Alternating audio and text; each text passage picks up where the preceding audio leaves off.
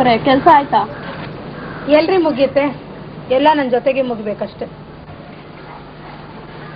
ಅಯ್ಯೋ ನಮ್ಮ ಯಜಮಾನ್ರು ಬಂದ್ರು. ನಾನು ಬರ್ತೀನಿ ಕಣ್ರಿ. ಅವ್ರು ಕೈಕಾಲು ತೊಳೆಯೋದ್ರಲ್ಲಿ ನಾನು ಬಿಸಿ ಬಿಸಿ ಬೋಂಡ ಕರಿಬೇಕು. ನಿಮ್ಗಂತೂ ಅದೇನ್ ತಾಳ್ಮೆನೋ ನಾನ್ ಕಾಣೆ. ನಾನಂತೂ ಸಮಯ ಸಿಕ್ಕಾಗ ಮಾಡಿಡ್ತೀನಿ ಅದನ್ನೇ ನಮ್ಮವ್ರಿಗೆ ಆಫೀಸಿಂದ ಬಂದಾಗ ಕೊಡೋದು. ಹಂಗೇನಾದ್ರೂ ನಾನು ಮಾಡಿದ್ರೆ ಅಷ್ಟೇ.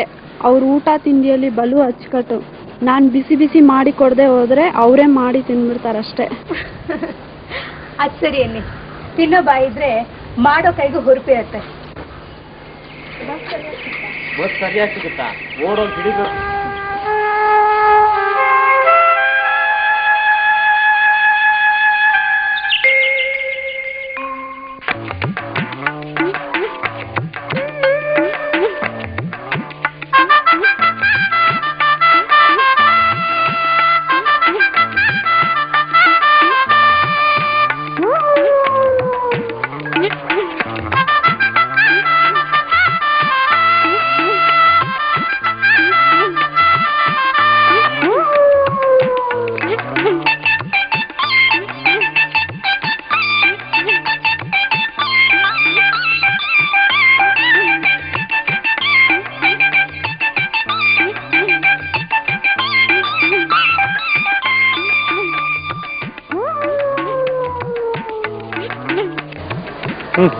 ದಿನ ಇರ್ತಿದ್ದೆ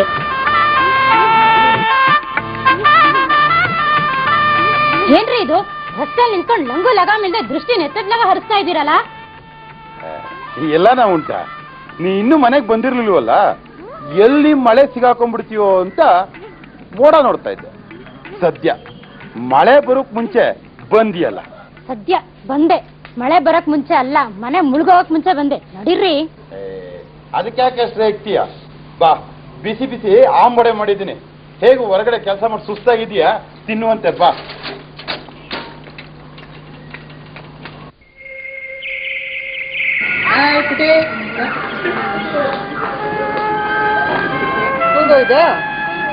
ಬನ್ನಿ ಒಳಗೆ.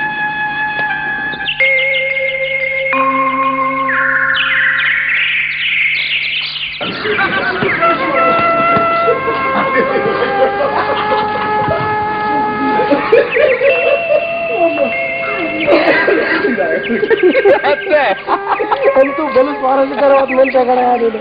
ನಿನ್ ಜೊತೆ ಹತ್ತು ಮೈಲಿ ನಡೆದ್ರು ಕೂಡ ಗೊತ್ತಾಗಲ್ಲ ಬಿಡುದು. ಏ ನಾನು ಇಷ್ಟ ತಿಳಿದಲ್ಲ ಜೋಕ್ ಅಲ್ಲಪ್ಪ. It's a true story of a middle class life ನಿನ್ನಷ್ಟೇ qualification ನಿನ್ನಷ್ಟೇ ಸರ್ವಿಸ್ ಆದ್ರೆ ನಿನ್ನಷ್ಟು ತಿಳ್ಕೊಳಕ್ಕಾಗಲಿಲ್ಲ ಏ ಈ ಇದೆಲ್ಲ ಜನರಲ್ ನಾಲೆಜ್ ಅಷ್ಟೇ ಕಣ. ಈ ಎಜುಕೇಶನ್ ಅನುಭವ ಇದರಲ್ಲೆಲ್ಲ ಏನಿದೆ ಮಣ್ಣು? ಧಾರೋಣಿ ಮಂಡಲ ಮಧ್ಯದೊಳಗೆ ಅಷ್ಟೇ. ಆಯ್ತಪ್ಪ ನಾನು ಇಲ್ಲಿ ಬರಲ್ಲ ಹಾ. ನಾನು ಬರ್ತೀನಿ. ಓಯ್ ನಾಳೆ ಬೆಳಿಗ್ಗೆ ಒಂಬತ್ತರ ಬಸ್ಸಿಗೆ ಬರ್ತೀಯ ತಾನೆ? ಸ್ವಲ್ಪ ಲೇಟ್ ಆದ್ರೂ ಅರ್ಧ ದಿನ ಸಿ ಎಲ್ ಹಾಕ್ಬೇಕು ಸಂಬಳ ಕಟ್ಟ ಆಮೇಲೆ.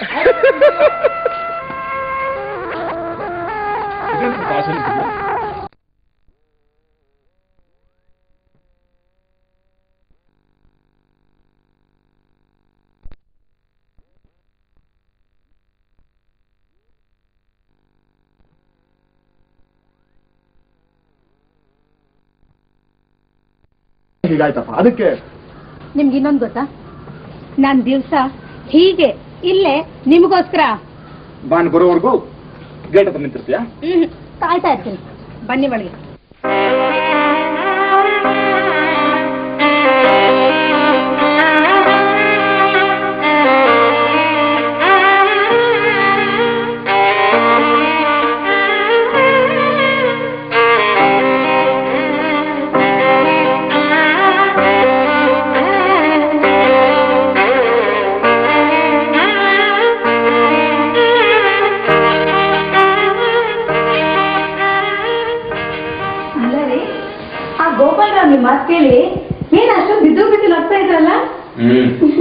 ಒಂದು ಜೋಕ್ ಹೇಳ್ತಾ ಇದ್ದೆ.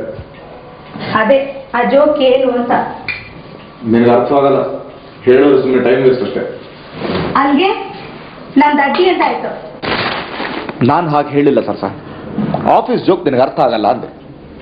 ಟಿ ಎ ಅಂದ್ರೆ ಗೊತ್ತಾ? K C S R civil service ಅಂದ್ರೆ ನಿಂಗೆ ಗೊತ್ತಾ? ನಾನು ಗೋಪಾಲ್ ರಾವ್ ಹೇಳಿದ ಜೋಕು ಬರೀ ಈ ಪದಗಳಿಂದ ತುಂಬಿದೆ. ಅರ್ಥ ಆಯ್ತಾ?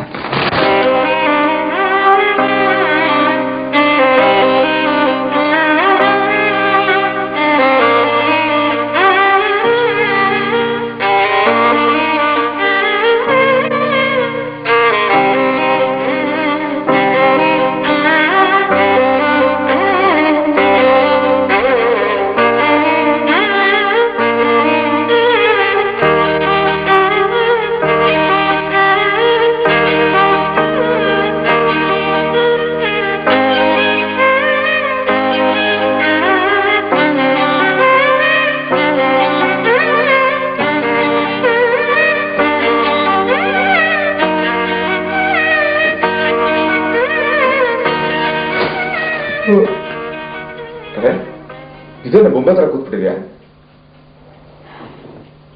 ನಿಮ್ಮನ್ನೊಂದು ಪ್ರಶ್ನೆ ಕೇಳ ಒಳ್ಳೆ ಆಡಿಟರ್ ತರ ಕೇಳ್ತಾ ಇದೆಯಲ್ಲ. ಪ್ರಶ್ನೆ ಕೇಳಕ್ಕೂ ಒಂದು ಪ್ರಶ್ನೆನಾ? ತಿಂಡಿ ತಿಂದ್ರಾ? ಆ, ಹಾ ತಿಂದೆ. ಈಗ ತಾನೇ ಕೊಟ್ಟಿಯಲ್ಲ? ಅದ್ ನನಗ್ ಜ್ಞಾಪಕ ಇದೆ. ಆದ್ರೆ ನಿಮಗ್ ಜ್ಞಾಪಕ ಇದೆಯೋ ಇಲ್ವೋ ಅಂತ. ಏ ಜೋಕ್ ಮಾಡ. ನಾನ್ ಕೇಳ್ಬೇಕಾಗಿರೋ ಪ್ರಶ್ನೆ ಅದಲ್ಲ. ಈಗ ನೀವೇನ್ ತಿಂಡಿ ತಿಂದ್ರಿ ಅದ್ ಹೇಳಿ. ಅದೇ ಇದು ಅದೇ ಇದೊಳ್ಳೆ ತಮಾಷೆ ಆಯ್ತಲ್ಲ? ಈಗ ನೀನ್ ಕೊಟ್ಟಿದ್ದೆ ನಾ ತಿಂದಿದ್ದು. ಅದೇ ಅದೇನು ಅಂತ. ಉಪ್ಪಿಟ್ಟು ಚಿತ್ರಾನ್ನನೋ ವಾಂಗಿಬಾತು ತಿಂಗಳ ಕೊನೆ ಅಲ್ವಾ? ಇನ್ನೊಂದು ಕೊಟ್ಟಿರ್ತೀಯ? ಚಿತ್ರಾನ್ನ ಕೊಟ್ಟಿರ್ತೀಯ? ಅಯ್ಯೋ ನಾನ್ ಕೊಟ್ಟಿದ್ ವಾಂಗಿಬಾತು ರೀ. ಹೌದಾ? ನಾನು ಈ ಪ್ರಶ್ನೆ ಯಾಕೆ ಕೇಳಿದೆ ಅಂದ್ರೆ ನಾನ್ ಮಾಡಿರೋ ಅಡಿಗೆ ರುಚಿ ಹೇಗಿದೆ ಅಂತ ಹೇಳೋದ್ ಬೇಡ. ಕನಿಷ್ಠ ಪಕ್ಷ ನಾನು ಏನ್ ಕೊಟ್ಟೆ ಅನ್ನೋದಾದ್ರೂ ಜ್ಞಾಪಕ ಇರ್ಲಿ ಅಂತ. ಬೆಳಿಗ್ಗೆಯಿಂದ ಆಫೀಸ್ನಲ್ಲಿ ಕಟ್ಟ ದೊಡ್ಡದಾಗ ದುಡ್ದು. ಸುಸ್ತಾಗಿ ಮನೆಗೆ ಬಂದ್ರೆ ನಿಂದೊಳ್ಳೆ ರಾಮಾಯಣ ಆಯ್ತು ಕಣೆ. ನೀವೊಬ್ರೇ ದುಡಿಯೋರು ಮನೇಲಿ ಸುಪ್ಪತ್ತಿಗೆ ಮೇಲೆ ನಾನು ಮಲ್ಕೊಂಡು ಆರಾಮಾಗಿದ್ದೀನಿ ಅಂತ ನೀವು ಹೇಳ್ತೀರಾ? ರೀ ನೀವಾದ್ರೂ ಆಫೀಸ್ಗೆ ಹೋಗ್ತೀರಾ ಒಂದ್ ಹತ್ತಾರು ಜನನ ಭೇಟಿ ಮಾಡಿದ್ರೆ ಸಂತೋಷವಾಗಿದ್ದೀರಾ ಆದ್ರೆ ನಾನು ಈ ನಾಲ್ಕು ಗೋಡೆಗಳ ಮಧ್ಯೆ ಹೇಗಿದ್ದೀನಿ ಅಂತ ಯಾವತ್ತಾದ್ರೂ ಯೋಚನೆ ಮಾಡಿದ್ದೀರಾ? ಈ ಹೆಂಡತಿ ಹತ್ರ ಮಾತಾಡಕ್ ನಿಮ್ಗೆ ಟೈಮ್ ಇದೆಯಾ? ಟೈಮ್ ಇಲ್ಲ ಅಂತ ನಾನು ಯಾವಾಗ ಹೇಳಿದೆ?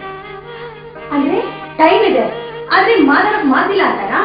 ಆಯ್ತು ನಾನೇನ್ ಮಾತಾಡಿದ್ದೆ ಒಬ್ಬ ಗಂಡ ಒಬ್ಬ ಹೆಂಡತಿ ಹತ್ರ ಏನ್ ಮಾತಾಡ್ಬೇಕು ಅಂತ ಹೆಂಡತಿ ಆಗ ಹೇಳ್ಕೊಡ್ಬೇಕಾ? ಏನ್ ಕೇಳೋದು? ಸಾರ್ ಮಾಡಿದ್ಯಾ? ಅನ್ನ ಬಂದಿದ್ಯಾ ಅಂತ ಕೇಳೋದ? ಮತ್ತೆ ರಂಪ ರಾಮಾಯಣಕ್ಕೆ ನಂತೆ ಅಂದಾಗೆ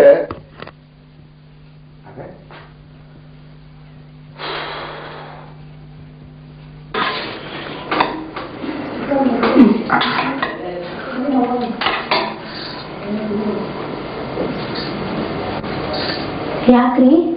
ಗೊಜ್ಜು ಚೆನ್ನಾಗಿಲ್ಲ ಸರ್ ನಿನ್ನ ಅಡಿಗೆ ರುಚಿ ನೋ ರುಚಿ. ಯಾಕೆ? ನಾನು ಸುಳ್ಳು ಹೇಳ್ತಾ ಇದ್ದೀನಿ ಅಂತಾರ ಪಕ್ಕ ಮನೆ ಕಮ್ಮನ ಗಂಡ ಆಗಿದ್ರೆ ಇಷ್ಟೊತ್ತಿಗೆ ತಿಂತಾರೆ ತಟ್ಟೆನ ಮುಗಿದ ಮೇಲೆ ಎಷ್ಟು ಹೋಗ್ತಾ ಇದ್ರು. ಯಾಕೆ ಅವ್ನಿಗೆ ತಲೆ ಸರಿ ಇಲ್ವಾ? ಇಲ್ಲ. ಯಾಕೆ ಅಂದ್ರೆ ಗೊಜ್ಜಿಗೆ ಉಪ್ಪೆ ಹಾಕಿಲ್ಲ. ಆದ್ರೂ ಚೆನ್ನಾಗಿದೆ ಅಂತ ತಿಂತಾ ಇದ್ದೀರಲ್ಲ? ಹೌದಾ? ಆದ್ರೂ ಆದ್ರೂ ರುಚಿಯಾಗಿದೆ ಕಣೆ. ಅಯ್ಯೋ ಯಾಕ್ರಿ ಸುಳ್ಳು ಹೇಳ್ತೀರಾ? ಒಂದೊಂದ್ಸಲ ನೀವು ತಗೊಳ್ತಾ ಇರೋ ತುತ್ತು ನೋಡಿದ್ರೆ ನನಗೆ ಗೊತ್ತಾಗಲ್ವಾ? ಏನ್ ಗೊತ್ತಾಗತ್ತೆ? ನೀವು ಬರೀ ತಿನ್ಬೇಕಲ್ಲ ಅಂತ ತಿಂತಾ ಇದ್ದೀರಾ. ದಯವಿಟ್ಟು ದಯವಿಟ್ಟು ತಪ್ಪು ತಿಳ್ಕೊಬೇಡ ಗೊಜ್ಜು ಗೊಜ್ಜು ತುಂಬಾ ಚೆನ್ನಾಗಿದೆ. ತುಂಬಾ ಚೆನ್ನಾಗಿದೆ. ಆದ್ರೆ ಅದು ಸಾಯಂಕಾಲ ತಿಂಡಿ ಜಾಸ್ತಿ ಆಗೋಯ್ತು ಅದಕ್ಕೆ ನೋಡಿ ನೀವು ಬಲ್ವಂತ ಊಟ ಮಾಡ್ಬಿಡಿ. ಅದು ನನಗೋಸ್ಕರ. ಎಷ್ಟಿರುತ್ತೋ ಅಷ್ಟು ಮಾಡಿ ಸಾಕು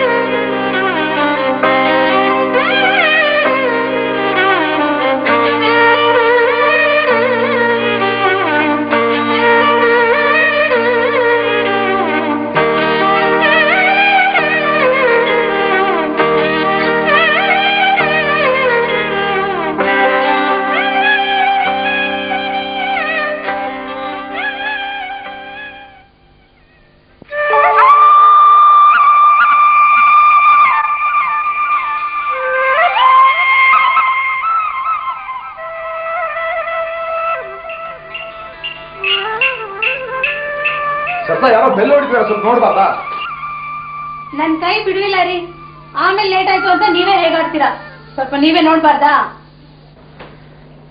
ಈ ಮಿಡ್ಲ್ ಕ್ಲಾಸ್ ಲೈಫ್ನಲ್ಲಿ ಪೇಪರ್ ಓದಕ್ಕೂ ಬಿಡುವಿಲ್ಲ ಇವರು ಬರೋರು ಬರ್ತಾರೆ. ಸಾಯಂಕಾಲ ಬಂದ್ರೆ ಅಪ್ಪನ ಮನೆ ಗಂಟು ಹೋಗುತ್ತಾ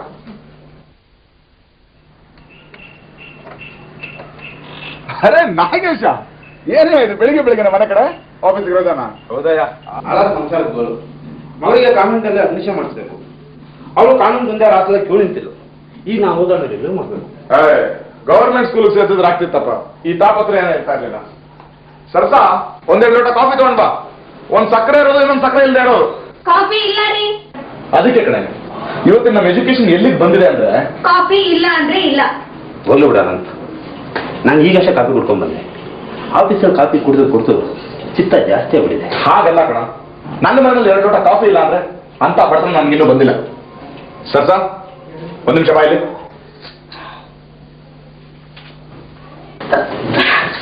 ಏನು? ಕಾಫಿ ಹಾಕಿಲ್ಲ. ಯಾಕಿಲ್ಲ ಅಂದ್ರೆ ಹಾಲಿಲ್ಲ ಅದಕ್ಕೆ. ಇಸ್ ಎಂಟು ಗಂಟೆ ಆಗ್ತಾ ಬಂತು ಹಾಲು ಇನ್ನು ಬಂದಿಲ್ಲ ಅಂದ್ರೆ ಏನರ್ಥ ಬಂತು. ಆದ್ರೆ ನಮ್ಮನೆಗಲ್ಲ ಪಕ್ಕದ ಮನೆಗೆ. ಈಗ ನಮ್ಮನೆಗೆ ಯಾಕೆ ಹಾಲು ಬಂದಿಲ್ಲ ಅಂತ ಬೇರೆ ಕೇಳ್ಬೇಡಿ ನೀವು. ಹಾಲಿನಲ್ಲಿ ದುಡ್ಡು ಕೊಟ್ಟು ಎರಡು ತಿಂಗಳಾಯ್ತು. This is all way middle class life you say ಅದಕ್ಕೆ ಅದಕ್ಕೆ ಖಾರವಾಗಿ ಹೇಳೋರು ಹಾಗೆ? ಐ ಆಮ್ ಸಾರಿ ಒಂದು ಕೆಲಸ ಮಾಡು. ಹೋಗಿ ಒಂದ್ ಎರಡು ಲೋಟ ಕಾಫಿ ಮಾಡ್ಕೊಂಡ ಒಂದ್ ಸಕ್ಕರೆ ಇರೋದು ಒಂದ್ ಸಕ್ಕರೆ ಇಲ್ಲದೆ ಇರೋದು. ಎರಡಕ್ಕೂ ಒಂದ್ ಸ್ವಲ್ಪ ಹಾಲು. ಇಲ್ಲ. ನಾನೇನು ಹೇಳ್ತಾ ಇದ್ದೆ ಅಂದ್ರೆ ಈ ನಮ್ಮ ಸೊಸೈಟಿನಲ್ಲಿ ಎಜುಕೇಶನ್ ಸಿಸ್ಟಮ್ ಇಷ್ಟು ಗಾಳಿ ಯಾಕೆ ಹಿಡಿದಿದೆ ಅಂದ್ರೆ? ಎಲ್ಲಾರ ಇದ್ದಿದೆ. ಹಾಂ ನಾ ಇವತ್ತು ಕೆಲ್ಸಕ್ಕೆ ಬರೋದಿಲ್ಲ. ಒಂದು ಸಿಕ್ಲಿ ಬರೋಣ ಇನ್ನು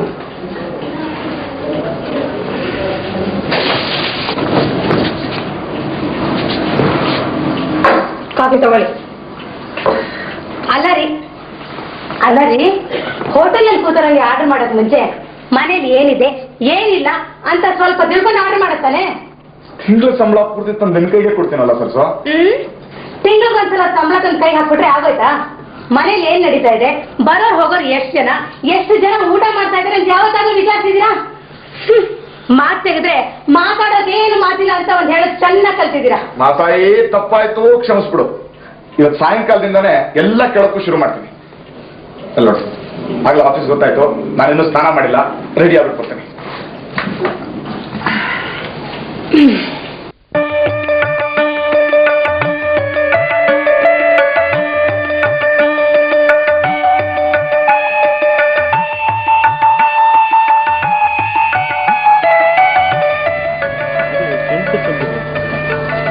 ಮನೆ ಮುಂದೆ ಈ ತರ ಒಂದು ಗಿಡ ಬೆಳೆಸಿದ್ರೆ ನೆರಳು ಗಾಳಿ ಹೂ ಎಲ್ಲ ಆಗುತ್ತೆ.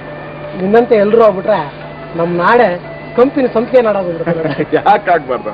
ಎಷ್ಟಿದಕ್ಕೆ ಇಪ್ಪತ್ತು ಓ thank you thank you very much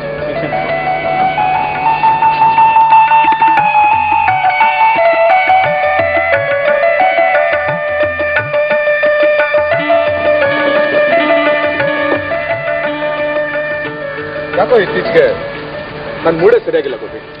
ನಾನು ಅದನ್ನೇ ಗಮನಿಸ್ತಾ ಇದ್ದೀನಿ ಕಣ ಯಾಕೆ? ಮನೇಲಿ ಗಲಾಟೆನ? ಗಲಾಟೆನ? ಪಾಪ. ಸರ್ತಾ ಸಂಪಿಗೆ ಗಿಡದಂತ ತಿನ್ನದ್ದು ಆದ್ರೂ ನಾನು ಅವ್ರ ಜೊತೆ ಮಾತಾಡಲ್ಲ ಅಂತ ಮಾತಾಡು? ಮಾತಾಡೋಕೆ ಏನಾದ್ರು ಟ್ಯಾಕ್ಸ್ ಕಟ್ಬೇಕಾ ಅದಕ್ಕಲ್ಲ ಕಣ. ಏನ್ ಮಾತಾಡೋದು ಅಂತ. ಇದೇನಯ್ಯ ಮಾತಿನ ಮಲ್ಲು ಅನಂತಿಗೆ ಏನ್ ಮಾತಾಡೋದು ಅನ್ನೋ ಸಮಸ್ಯೆನಾ? ಹಾಗಲ್ಲ ಕಣ ಗೋಪಿ. ನೋಡು ನಾನು ನಿನ್ನ ಹತ್ರ ಇರಾನ್ ಇರಾಕ್ ಯುದ್ಧದ ಬಗ್ಗೆ ಮಾತಾಡ್ಬೋದು. ಅಥವಾ Davis Cup men's women singles ಬಗ್ಗೆ ಮಾತಾಡ್ಬೋದು. ಇಂಡಿಯಾದ ಫೈನಾನ್ಷಿಯಲ್ ಕ್ರೈಸಿಸ್ ಬಗ್ಗೆ ಮಾತಾಡ್ಬೋದು. ಅಥವಾ ಪಂಜಾಬ್ ಕಾಶ್ಮೀರ್ ಶ್ರೀಲಂಕಾ ಸಮಸ್ಯೆ ಬಗ್ಗೆ ಮಾತಾಡ್ಬೋದು. ಆದ್ರೆ ಅದೇ ಅದೇ ನೀನ್ ಹೆಂಡತಿ ಹತ್ರ ಏನ್ ಮಾತಾಡ್ಬೇಕು ಅಂತನಾ? ವಿಷಯ ತಿರುಗಿಸಿ ಮಾತಾಡಿದ್ರಾಯ್ತು. ಈ ವರ್ಷ ಅಕ್ಕಿ ಬೆಲೆ ಕಡಿಮೆ ಆಗ್ಬೋದು. ಯಾಕೆ ಅಂದ್ರೆ ಮಳೆ ಜಾಸ್ತಿ ಆಗಿದೆ ನೋಡು ಅದಕ್ಕೆ ಅಂತ ಹೇಳು. ಸೀಮೆಣ್ಣ ಬೇಡ ಕಣೆ ಕ್ಯಾಶ್ ತಗೋ ಅಂತ ಹೇಳು. ಆ ಯಾವತ್ತಾದ್ರು ಸಿನಿಮಾ ಕರ್ಕೊಂಡು ಹೋಗಿದ್ಯಾ? ವಾಕಿಂಗು? ವಾಕಿಂಗ್ ವಾಕಿಂಗ್ ಅದು ಈ ಮಿಡ್ಲ್ ಕ್ಲಾಸ್ ಲೈಫ್ನಲ್ಲಿ ಸಾಧ್ಯ ಇಲ್ಲ ಅಂತ ಭಾಷಣ ಬೇಡ ಮರಿ. ಬರೀ ಜನರಲ್ ನಾಲೆಜ್ ಇದ್ರೆ ಸಾಲದು ಲೈಫನ್ನ ಯಾಕೆ ಬ್ಯಾಲೆನ್ಸ್ ಮಾಡಬೇಕು ಅನ್ನೋದು ಗೊತ್ತಿರಬೇಕು. ಈಗೇನು? ವಾಕಿಂಗ್ ಕರ್ಕೊಂಡು ಹೋಗ್ಬಿಟ್ರೆ ಸಿನಿಮಾ ತೋರಿಸ್ಬಿಟ್ರೆ ಲೈಫ್ ಬ್ಯಾಲೆನ್ಸ್ ಆಗ್ಬಿಡುತ್ತಾ? ಇಲ್ಲ ಮನೇಲೆ ಕುತ್ಕೊಂಡು ಪೇಪರ್ ಹೋದ್ರೆ ಬ್ಯಾಲೆನ್ಸ್ ಆಗುತ್ತಾ? ಈಗ ನಾನು ಏನ್ ಮಾಡು ಅಂತೀಯಾ? ಏನು ಮಾಡಬೇಡ. ಈಗ ಹೇಗಿದೆಯೋ ಹಾಗೆ ಇದ್ದು ಬಿಡು ನೋಡೋ ಅನಂತ ನಿನ್ನ ನಿನ್ನ ಹೆಂಡತಿ ಮಧ್ಯದಲ್ಲಿ ಬಂದಿರೋದು ಕಮ್ಯುನಿಕೇಶನ್ ಗ್ಯಾಪು ಅದು ಪರಿಹಾರ ಆಗಬೇಕು ಅಂದ್ರೆ ನಿಮ್ಮ ಸಂಸಾರದಲ್ಲಿ ಏನಾದ್ರು ಒಂದು ಟರ್ನ್ ಆಗಬೇಕು. ಟರ್ನ್ ನನ್ನ ತಲೆ ಟರ್ನ್ ಆಗ್ಬೇಕಷ್ಟೇ. ಏ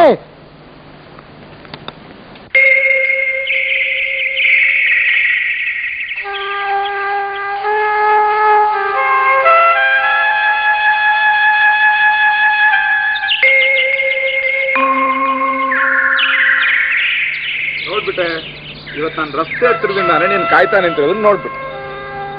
ಈ ಹಸಿರು ಸೀರೆ ನಿಂಗೆ ತುಂಬಾ ಚೆನ್ನಾಗಿ ಹೋಗ್ತದೆ ಸತ್ತ ಇದು ನಮ್ಮ ಮದುವೆ ಸೀರೆ ಅಲ್ವಾ? ಹ್ಮ್. ಏನೋ ಮಾತಾಡ್ಬೇಕು ಅಂತ ಮಾತಾಡ್ಬೇಡಿ ನೀವು. ಇದು ಪಕ್ಕದ ಮನೆ ಸುಶೀಲಮ್ಮ ಸೀರೆ. ಪಾಪ ಗಂಡ ಇಲ್ಲ ನೋಡಿ. ಒಂದ್ಸಲ ಉಟ್ಕೊಡು ಅಂತ ಕೊಟ್ಟಿದ್ದಾರೆ. ಹತ್ತೇರಿ. ಬನ್ನಿ ಒಳಗೆ.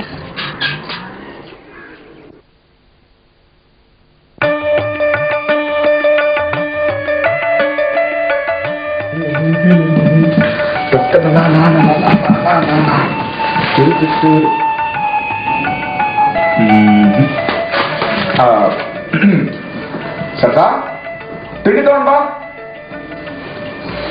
ಎತ್ತೇನ್ ತಿಂಡಿ ಮಾಡಿದ್ಯಾ ಅರೆ ಅದೇ ಕಾಲ್ ನೋಡ್ತಾ ಇದೆಯಾ ಕೂತ್ಕೋ ಈಗ ನಾನು ನಿಜವಾಗ್ಲು ತುಂಬಾ ಚೇಂಜ್ ಆಗಿದ್ದೀನಿ ಐ ಆಮ್ ಡಿಫ್ರೆಂಟ್ ಮ್ಯಾನ್ ವಾ ಉಪ್ಪಿಟ್ಟು ತುಂಬಾ ಚೆನ್ನಾಗಿದೆ ಇನ್ನು ತಿಂದೇ ಇಲ್ವಲ್ರಿ ಹ್ಮ್. ಇವತ್ತಿಂದ ನಿನ್ನ ಫುಲ್ ಮಾಡಕ್ ಸಾಧ್ಯನೇ ಇಲ್ಲ. ಈ ಘಮ್ ಅನ್ನೋ ವಾಸನೆ ನೀನ್ ಮಾಡಿರೋ ಉಪ್ಪಿಟ್ಟು ಎಷ್ಟು ಮಜವಾಗಿದೆ ಅಂತ ಸಾರ್ ಹೇಳ್ತಾ ಇದೆ ಆಹಾ ಹ್ಮ್ ಹ್ಮ್. ತುಂಬಾ ಚೆನ್ನಾಗಿದೆ ಕಣ. ಇನ್ನೂ ಒಂಚೂರು ಟೊಮೆಟೊ ಹಾಕಿದ್ರೆ ಆಹಾ. ಏನಂದ್ರಿ? ಇನ್ನೂ ಸ್ವಲ್ಪನಾ? ನಾನು ಟೊಮೆಟೊನೇ ಹಾಕಿಲ್ಲ? ಯಾಕೆ ಗೊತ್ತಾ? ಕೆಜಿಗೆ ಹದಿನೆಂಟು ರೂಪಾಯಿ ಆಗಿದೆ. ಹದಿನೇಳು ರೂಪಾಯಿ? ಮೊದಲೆಷ್ಟಿತ್ತು? ಹೋಗ್ಲಿ ಬಿಡಿ. ತಟ್ಟೆ ಕೊಡಿ.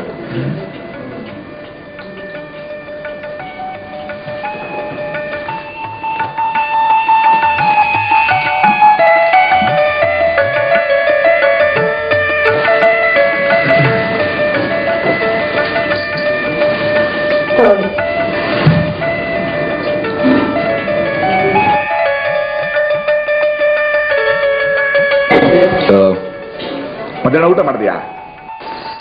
ಮಾಡಿದೆ. ಅಕ್ಕಿ ಇದೆಯಾ? ಇನ್ನು ಎಷ್ಟು ದಿನ ಬರುತ್ತೆ? ಒಂದನೇ ತಾರೀಕುವರೆಗೂ ಆಗತ್ತೆ. ಕಾಫಿ ತುಂಬಾ ಚೆನ್ನಾಗಿದೆ. ಹಾಲು? ಪಕ್ಕದ ಮೇಲೆ ಹತ್ರ ಒಂದು ಗ್ಲಾಸ್ ತಗೊಂಡೆ. ಓ. ಹಾ ಒಂದು ನೂರು ರೂಪಾಯಿ ಸಾಲ ತಂದಿದ್ದೇನೆ. ಇದನ್ನ ನಾಳೆ ಹಾಲಿನವನು ಕೊಟ್ಟು ಈ ತಿಂಗಳಿಂದ ಹಾಲು ಹಾಕಕ್ಕೆ. ತರಕಾರಿ ಇದೆಯಾ ಮನೆಯಲ್ಲಿ ಇಲ್ಲ. ಆದ್ರೂ ಬೇಡ. ನಾಳೆ ಮಸಾಲೆ ಸಾರು ಮಾಡೋಣ ಅಂತಿದ್ದೀನಿ.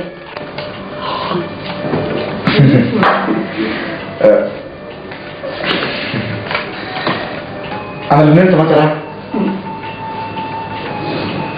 ಏನ್ರಿ? ಮಾತಾಡಿ ಅಂದ್ರೆ ಹೆಂಡತಿ ಹತ್ರ ಒಳ್ಳೆ ಹೊಸಬರ ಹತ್ರ ಮಾತಾಡಕ್ ಮಾತಾಡ್ತಿದ್ರಲ್ಲ? ಅದು ಪೇಪರ? ತಗೊಳ್ಳಿ.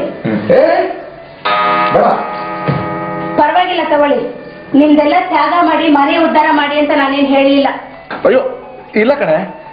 ಖಂಡಿತವಾಗಿಯೂ ನಾನು ಪೇಪರ್ ಬಿಟ್ಟಲ್ಲ ಹಾಗಾದ್ರೆ ನೀವು ಇವತ್ತು ಆಫೀಸಲ್ಲಿ ಕೆಲಸ ಮಾಡಿಲ್ಲ ಅಂತ ಕಾಣುತ್ತೆ? ಯಾಕೆ? ಅದಕ್ಕೂ ಇದಕ್ಕೂ ಏನು ಸಂಬಂಧ? ಯಾಕೆ ಅಂದ್ರೆ ನೀವು ಇವತ್ತು ಆಫೀಸಲ್ಲೇ ಪೇಪರ್ನ ಓದ್ ಮುಗಿಸಿರ್ಬೇಕು ಅಂತ. ಎಲ್ಲ ಇವಳ ಏನು ಅಂದ್ರೆ ನಾನು ಇವತ್ತೆಲ್ಲ ಹೊರಗಡೆ ಹೋಗಿದ್ದೆ. ಹ್ಮ್. ಎಲ್ಲಿ ಹೋಗಿದ್ದೆ ಅಂತ ಕೇಳ್ಬಾರ್ದಾ? ಎಲ್ಲಿಗೆ ಹೋಗಿದ್ದೆ? ಪೇಪರ್ ಆಫೀಸ್ಗೆ. ಓ ಹಳೆ ಪೇಪರ್ ಎಲ್ಲ ಮಾರ್ಬಿಟ್ಟು ಬಂದ್ಯಾ? ಎಷ್ಟು ಬಂತು? ಹಳೆ ಪೇಪರ್ ಆಫೀಸ್ಗೆ ಅಲ್ಲ ರೀ ನ್ಯೂಸ್ ಪೇಪರ್ ಆಫೀಸ್ಗೆ. ನ್ಯೂಸ್ ಪೇಪರ್ ಆಫೀಸ್ಗೆ? ಯಾಕೆ? ಒಂದು ಅಡ್ವರ್ಟೈಸ್ಮೆಂಟ್ ಕೊಡ್ಬೇಕಾಗಿತ್ತು ಅದಕ್ಕೆ.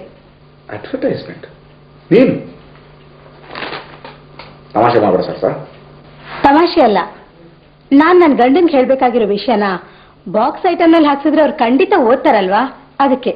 ಒಳ್ಳೆ ಜೋಕ್ ಮಾಡ್ತೀವಿ. ಈಗ ಹೇಳಿ ಸಮಾಚಾರ? ಕೇಳಿಸ್ಕೊಳ್ಳೋಷ್ಟು ಸಮಾಧಾನ ತಾಳ್ಮೆ ಇದೆಯಾ? ತಾಳ್ಮೆ ಇದ್ದೇ ಇದೆ.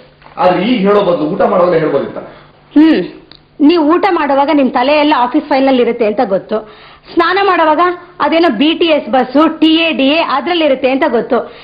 ಇನ್ ಯಾವನೋ ಯಾವ ದೇಶದಲ್ಲೂ ಯುದ್ಧ ಮಾಡ್ತಾ ಇದ್ರೆ ನಿಮ್ ಚಿಂತೆ ಕಾರಣ ಆಗಿರುತ್ತೆ ಅಂತಾನು ಚೆನ್ನಾಗ್ ಗೊತ್ತು. ಆಯ್ತು ಆಯ್ತು. ಶಾಂತ ಚಿತ್ತನ ಕೇಳಿಸ್ಕೊಳ್ತಾ ಇದ್ದೀನಿ. ನನ್ನ ತಲೆ ನೆಲ್ಲೂ ಇಲ್ಲ ನಿನ್ ಮುಂದೆನೆ ಇದೆ ಈಗ ಹೇಳು. ಮತ್ತೆ ಮತ್ತೆ. ನನ್ನ ಹೆಂಡತಿಯಾದ ಸರಸ ನನ್ನ ಮುಂದೆ ಮತ್ತೆ ಮತ್ತೆ ಎಂದು ರಾಗ ಎಳೆಯುತ್ತಿದ್ದಾಳೆ ನನಗೀಗ ಎರಡು ತಿಂಗಳು. ನನಗೀಗ ಎರಡು ತಿಂಗಳು.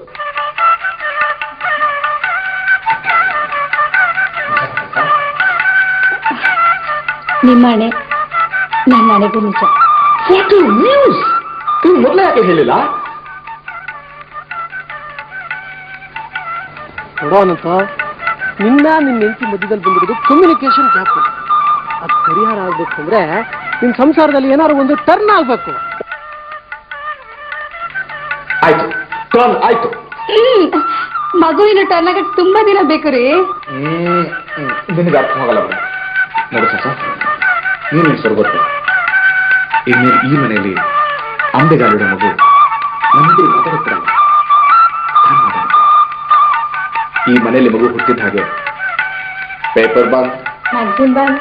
ಬಾಯ್ ಬಂದ್. ನಮ್ಮ ಕಂತಿನ ಆಟ ನೋಡೋದ್ರಲ್ಲಿ ಟೈಮ್ ಬಾಯ್. ಬಾಯಿ ಬಂದು. ಟೈಮ್ ಬಂದು ಅಂದ ಕೂಡ್ಲೇನೆ ಇವರಿಬ್ಬರಲ್ಲಿ ಎಲ್ಲ ಬಂದಾಯಿತು ಅನ್ಕೋಬೇಡಿ. ಇದು ಆರಂಭ. ಇಬ್ಬರ ವಿರಸ ಬಂದಾಗಿ ಬಾಳ ಅನುಬಂಧ ಸ್ಟಾರ್ಟ್. ಏನಂತೀರಿ?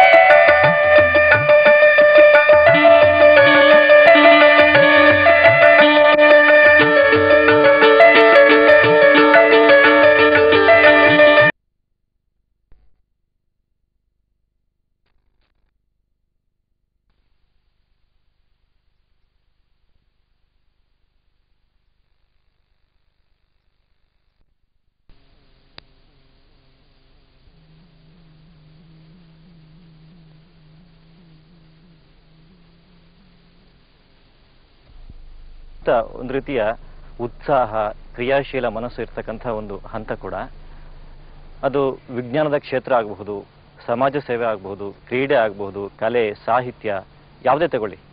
ಅದರಲ್ಲಿ ಯಾವುದೇ ಸವಾಲು ಬರಲಿ ಕೂಡ ಅದನ್ನು ನಾವು ಎದುರಿಸ್ತೇವೆ, ಮತ್ತು ಆ ಸವಾಲನ್ನು ಸ್ವೀಕರಿಸಿ ಸಫಲತೆಯನ್ನು ಹೊಂದ್ತೇವೆ ಅನ್ನೋ ಒಂದು ಛಲ ಕೂಡ ಅವರಲ್ಲಿ ಇವತ್ತು ಮೂಡ್ತಾ ಇದೆ. ಇವತ್ತು ಅನೇಕ ಕ್ಷೇತ್ರಗಳಲ್ಲಿ ಅವರು ಮುಂದುವರಿತಾ ಇದ್ದಾರೆ. ನಮಗೆ ಕಣ್ಣೆದುರಿಗೆ ಉದಾಹರಣೆಗಳಾಗಿ ಕೂಡ ಇದ್ದಾರೆ. ಇವತ್ತು ಅಂತಹ ಒಂದು ಯುವ ಚೇತನವೊಂದನ್ನ ನೀವು ಮುಖಾಮುಖಿಯಾಗಿ ನೋಡಲಿದ್ದೀರಿ. ಅವರು ಅಂತ ಯಾರು ಅಂತ ಹೇಳಿದ್ರೆ ಅವರೇ ಭದ್ರಾವತಿ ಶಿವರಾಮ್.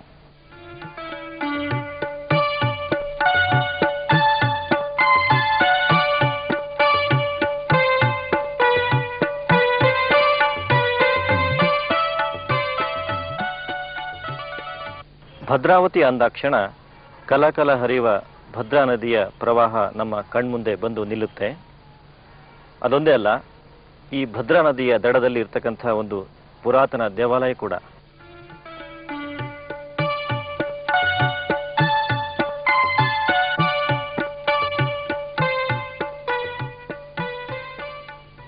ಇನ್ನೊಂದು ಚಿತ್ರ ಭಾರತ ರತ್ನ ಮೋಕ್ಷಗುಂಡಂ ವಿಶ್ವೇಶ್ವರಯ್ಯ ಅವರು ಸ್ಥಾಪಿಸಿದ ಕಬ್ಬಿಣ ಮತ್ತು ಉಕ್ಕಿನ ಕಾರ್ಖಾನೆ. ಹಾಗೆ ನಂತರ ಬರುವ ಮತ್ತೊಂದು ದೃಶ್ಯ ಮೈಸೂರು ಕಾಗದ ಕಾರ್ಖಾನೆ. ನೆಕ್ಸ್ಟ್ ಮುರಳಿ ಹೇಳಿ. ಪರಿಸರ ನಾಶ ಆಗ್ತಾ ಇದೆ. ಮಹಾಜನಗಳು ಪ್ರತಿಯೊಬ್ಬರು ಒಂದೊಂದು ಗಿಡ ನರ ನೆಟ್ಟು ಪರಿಸರ ಉಳಿಸೋ ಬಗ್ಗೆ ಮನೋಭಾವನೆ ಬೆಳೆಸ್ಕೋಬೇಕು. ಅಂತ ನೀವು ಹೇಳ್ಬೇಕು. ಈಗ ಪರಿಸರ ನಾಶ ಆಗ್ತಾ ಇದೆ. ಪರಿಸರ ನಾಶದ ಬಗ್ಗೆ ನೀವೇನ್ ಹೇಳ್ತೀರಾ? ಹೌದು ನೀವೇನ್ ಹೇಳ್ತೀರಾ? ಈ ತರ ಕೇಳಿದಾಗ ನೀವು ಧರ್ಮಜಿ ನೀವ್ ಹೇಳಿ. ಸ್ವಾಮಿ ಪರಿಸರ ನಾಶ ಆಗ್ತಾ ಇದೆ. ಜನರಲ್ಲಿ ಅದ್ರ ಮನೋಭಾವನೆ ಬೆಳೆಸಿ. ನೀವ್ ಹೇಳಿ. ನೀವು ಇದ್ರ ಬಗ್ಗೆ ಏನ್ ಮಾಡ್ತಾ ಇದ್ದೀರಾ? ಮಾಡ್ತಾ ಇದ್ದೀರಾ? ನೀವ್ ಹೇಳಿ ಕಾಡು ಉಳಿಸೋದ್ರ ಬಗ್ಗೆ ನಾಟಕ ಮಾಡಿ. ಹಾ, ಈಗ ತಮಟೆ ಬರಸ್ತಾ ಇರ್ತೀರಾ? ಅಷ್ಟೊತ್ತಿಗೆ ಬರ್ತಾರೆ. ಆ ಬರ್ತಿದ್ದಂಗೆ ಮಾತಾಡ್ಬೇಕು. ಎಲ್ಲಿ? ಎಲ್ಲಿ ಮಾಡಿ ತಮಟೆ ಬರ್ಸಿ. ಶಿವರಾಮ್ ಅವರೇ ಒಂದ್ ನಿಮಿಷ ಇರಿ. ಸ್ವಲ್ಪ ನಿಮ್ಮ ರಿಹರ್ಸಲ್ಗೆ ವಿರಾಮ ಕೊಡ್ತೀರಾ? ನಿಮ್ಮ ಹತ್ರ ಸ್ವಲ್ಪ ಮಾತಾಡಬೇಕು. ಬಂದೆ. ನೀವು ಸ್ವಲ್ಪ ಹಾಗೆ ಪ್ರಾಕ್ಟೀಸ್ ಮಾಡ್ಕೊತಾ ಇರಿ. ಶಿವರಾಮ್ ಅವರೇ ಈ ನಾಟಕಗಳ ಬಗ್ಗೆ ನಿಮಗೆ ಹೇಗೆ ಆಸಕ್ತಿ ಉಂಟಾಯ್ತು? ನಾನು ಕಾಲೇಜ್ ದಿನಗಳಲ್ಲಿ ಈ ವಿಷಯದ ಬಗ್ಗೆ ನಾಟಕ ಮಾಡಬೇಕು ಅಂತೇಳಿ ಫಸ್ಟ್ ಯೋಚನೆ ಮಾಡಿದೆ. ಆಗ ಕಾಲೇಜ್ನಲ್ಲಿ ನಡೀತಾ ಇರತಕ್ಕಂಥ ವಿಷಯಗಳನ್ನ ತಗೊಂಡು ಅಲ್ಲಿ ಅವಾಗ ಬೀದಿ ನಾಟಕ ಮಾಡಿ ತೋರಿಸಿದ್ದೆ.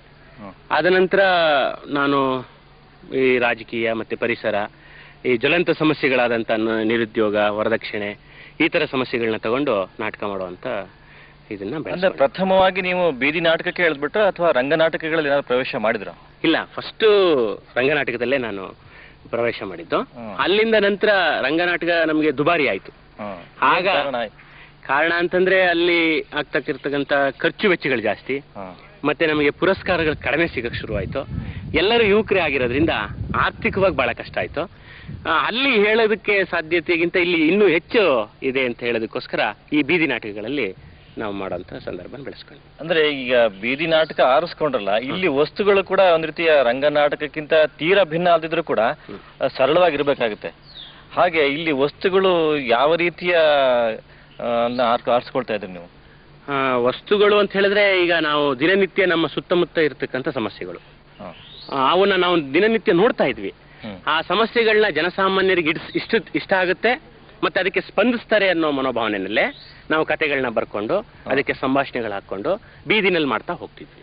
ಈ ರೀತಿಯ ಬೀದಿ ನಾಟಕಗಳನ್ನ ಆಡ್ಬೇಕು ಅಂತಂದ್ರೆ ಆ ಊರಿನ ಪ್ರಮುಖ ಸ್ಥಳಗಳು ಅಥವಾ ಜನಸಂದಣಿ ಸೇರ್ತಕ್ಕಂಥ ಸ್ಥಳಗಳು ಬೇಕಾಗುತ್ತೆ. ನೀವು ಹೇಗೆ ಇಂತಿಂತ ಇಂತಿಂಥ ವಸ್ತುಗಳಿಗೆ ಇಂತಿಂಥ ಸ್ಥಳಗಳು ಅಂತ ಹೇಗೆ ಆರಿಸ್ಕೊಳ್ತಾ ಇದ್ರಿ ನೀವು? ಅಂದ್ರೆ ಸ್ಥಳಗಳಲ್ಲಿ ನಾವು ಜನಸಂದಣಿ ಹೆಚ್ಚಿರುವಂತ ಸ್ಥಳಗಳನ್ನ ಆರಿಸ್ಕೊತಿದ್ವಿ ಅಲ್ಲಿ ನಾವು ಹೋಗಿ ಅಲ್ಲಿಗೆನ ಬಾರಿಸ್ತಾ ಇದ್ರೆ ಈಗ ನಾವು ಅಲ್ಲಿಗೆ ಬಾರಿಸ್ತಾ ಇದ್ವಿ ನೋಡಿ. ಅಲ್ಲಿಗೆ ಅಲ್ಲಿಗೆನ ಬಾರಿಸ್ತಾ ಇದ್ದಾಗ ಜನ ಬಂದು ಗುಂಪಾಗಿ ಸೇರ್ತಾ ಇದ್ರು.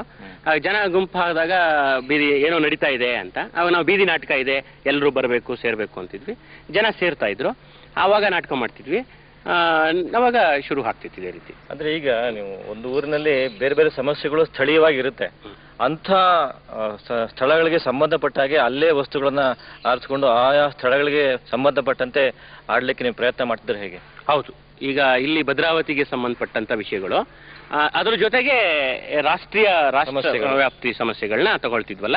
ಆಗ ಅಲ್ಲಿಗೆ ಎಲ್ಲರಿಗೂ ಇಷ್ಟ ಆಗ್ತಿತ್ತು. ಈಗ ಈ ರೀತಿಯ ನಾಟಕಗಳನ್ನ ಆಡ್ಬೇಕಾದ್ರೆ ನೇರವಾಗಿ ಇದು ಪ್ರೇಕ್ಷಕರಿಗೆ ಮುಟ್ಟುತ್ತೆ. ಯಾಕೆಂದ್ರೆ ಜನಗಳು ತಕ್ಷಣ ಬಂದು ಗುಂಪು ಕೊಡ್ತಾರೆ ನಿಮ್ಮ ನಾಟಕವನ್ನು ನೋಡ್ತಾರೆ. ನೀವು ಕೆಲವೊಮ್ಮೆ ಸಮಾಜದ ಸಮಸ್ಯೆಗಳ ಬಗ್ಗೆ ಸತ್ಯವನ್ನು ಬಹಳ ನಿಷ್ಠುರವಾಗಿ ಹೇಳಬೇಕಾಗುತ್ತೆ. ಹೀಗೆ ಹೇಳಿದಾಗ ಅಲ್ಲಿನ ಸಾರ್ವಜನಿಕರು ತಮ್ಮ ಪ್ರತಿಕ್ರಿಯೆಯನ್ನು ಹೇಗೆ ವ್ಯಕ್ತಪಡಿಸಿದ್ರು? ಅವರ ಅನುಭವ ಏನು? ಅಂದ್ರೆ ಕೆಲವರಿಗೆ ಆ ವಿಷಯನ ನಾಟದಾಗ. ಅವರು ಸ್ವಲ್ಪ ನಮ್ಮ ಮೇಲ್ ಬೀಳ್ತಿದ್ರು. ಆಗ ನಮಗೆ ಇನ್ನ ಇತರೆ ಜನ ನಮ್ಮ ಪರವಾಗಿ ಉತ್ತರ ಕೊಡ್ತಾ ಇದ್ರು. ಅಂದ್ರೆ ಒಂದ್ ರೀತಿ ನಮ್ದೇನು ಕೆಲಸ ಇರ್ತಿರ್ಲಿಲ್ಲ.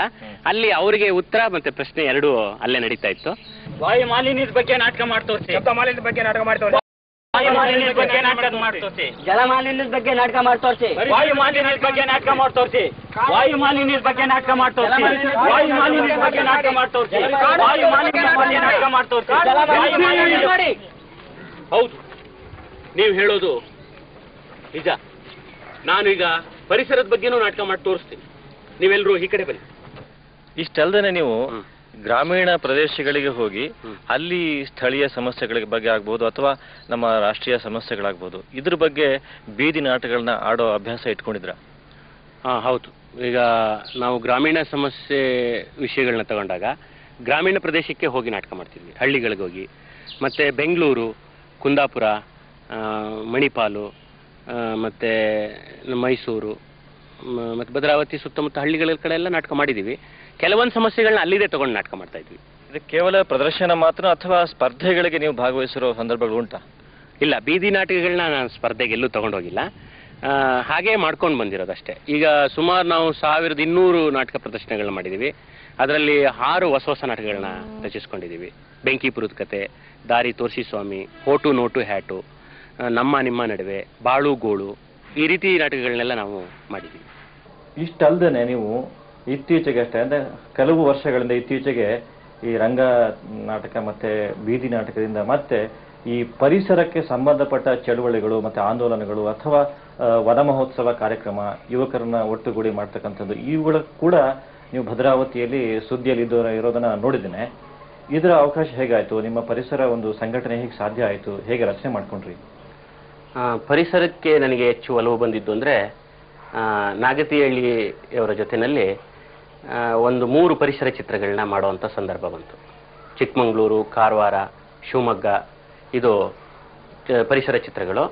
ಎಜುಕೇಷನ್ ಪರಿಸರ ಚಿತ್ರಗಳಾಗಿ ಬಂದಾಗ ನಾವು ಅಲ್ಲಿನ ಪರಿಸರದ್ದು ಚಿತ್ರಗಳ ಜೊತೆ ಭದ್ರಾವತಿಯ ಒಂದು ಪರಿಸರನೂ ಕೂಡ ಅದರಲ್ಲಿ ಚಿತ್ರಣ ಮಾಡುವಂಥ ಅವಕಾಶ ಬಂದಾಗ ಭದ್ರಾವತಿಲಿರ್ತಕ್ಕಂಥ ವಾಯು ಮಾಲಿನ್ಯ ಜಲ ಮಾಲಿನ್ಯ ಮತ್ತು ಈ ಅರಣ್ಯ ನಾಶಗಳ ಬಗ್ಗೆ ಆವಾಗ ಸ್ವಲ್ಪ ಹೆಚ್ಚು ನನಗೆ ಮನಸ್ಸಿನ ಮೇಲೆ ಪರಿಣಾಮ ಬಿತ್ತು ಅಂತ ಹೇಳ್ಬೋದು.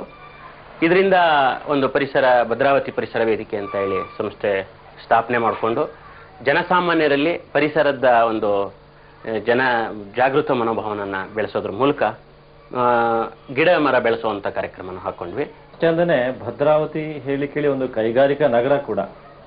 ಇಂಥ ಒಂದು ಕೈಗಾರಿಕಾ ಪರಿಸರ ಹೆಚ್ಚಾಗಿರುವ ಇಂಥ ಒಂದು ಪ್ರದೇಶದಲ್ಲಿ ನೀವು ಈ ರೀತಿಯ ಪರಿಸರ ಕಾಳಜಿ ಮೂಡಿಸ್ತಕ್ಕಂತಹ ಕಾರ್ಯಕ್ರಮ ಮಾಡಬೇಕು, ಮತ್ತೆ ಅದಕ್ಕೆ ಜನಗಳನ್ನ ಒಟ್ಟು ಹಾಕಬೇಕು ಅದು ಹೆಚ್ಚಾಗಿ ಯುವಕರು ಕೂಡ ಬೇಕಾಗ್ತದೆ. ಈ ದೃಷ್ಟಿಯಿಂದ ಇಲ್ಲಿ ಸಾರ್ವಜನಿಕ ಪ್ರತಿಕ್ರಿಯೆ ಕೂಡ ಮುಖ್ಯ ನಿಮ್ಮಂತಹ ಸಂಸ್ಥೆಯ ಚಟುವಟಿಕೆಗಳಿಗೆ.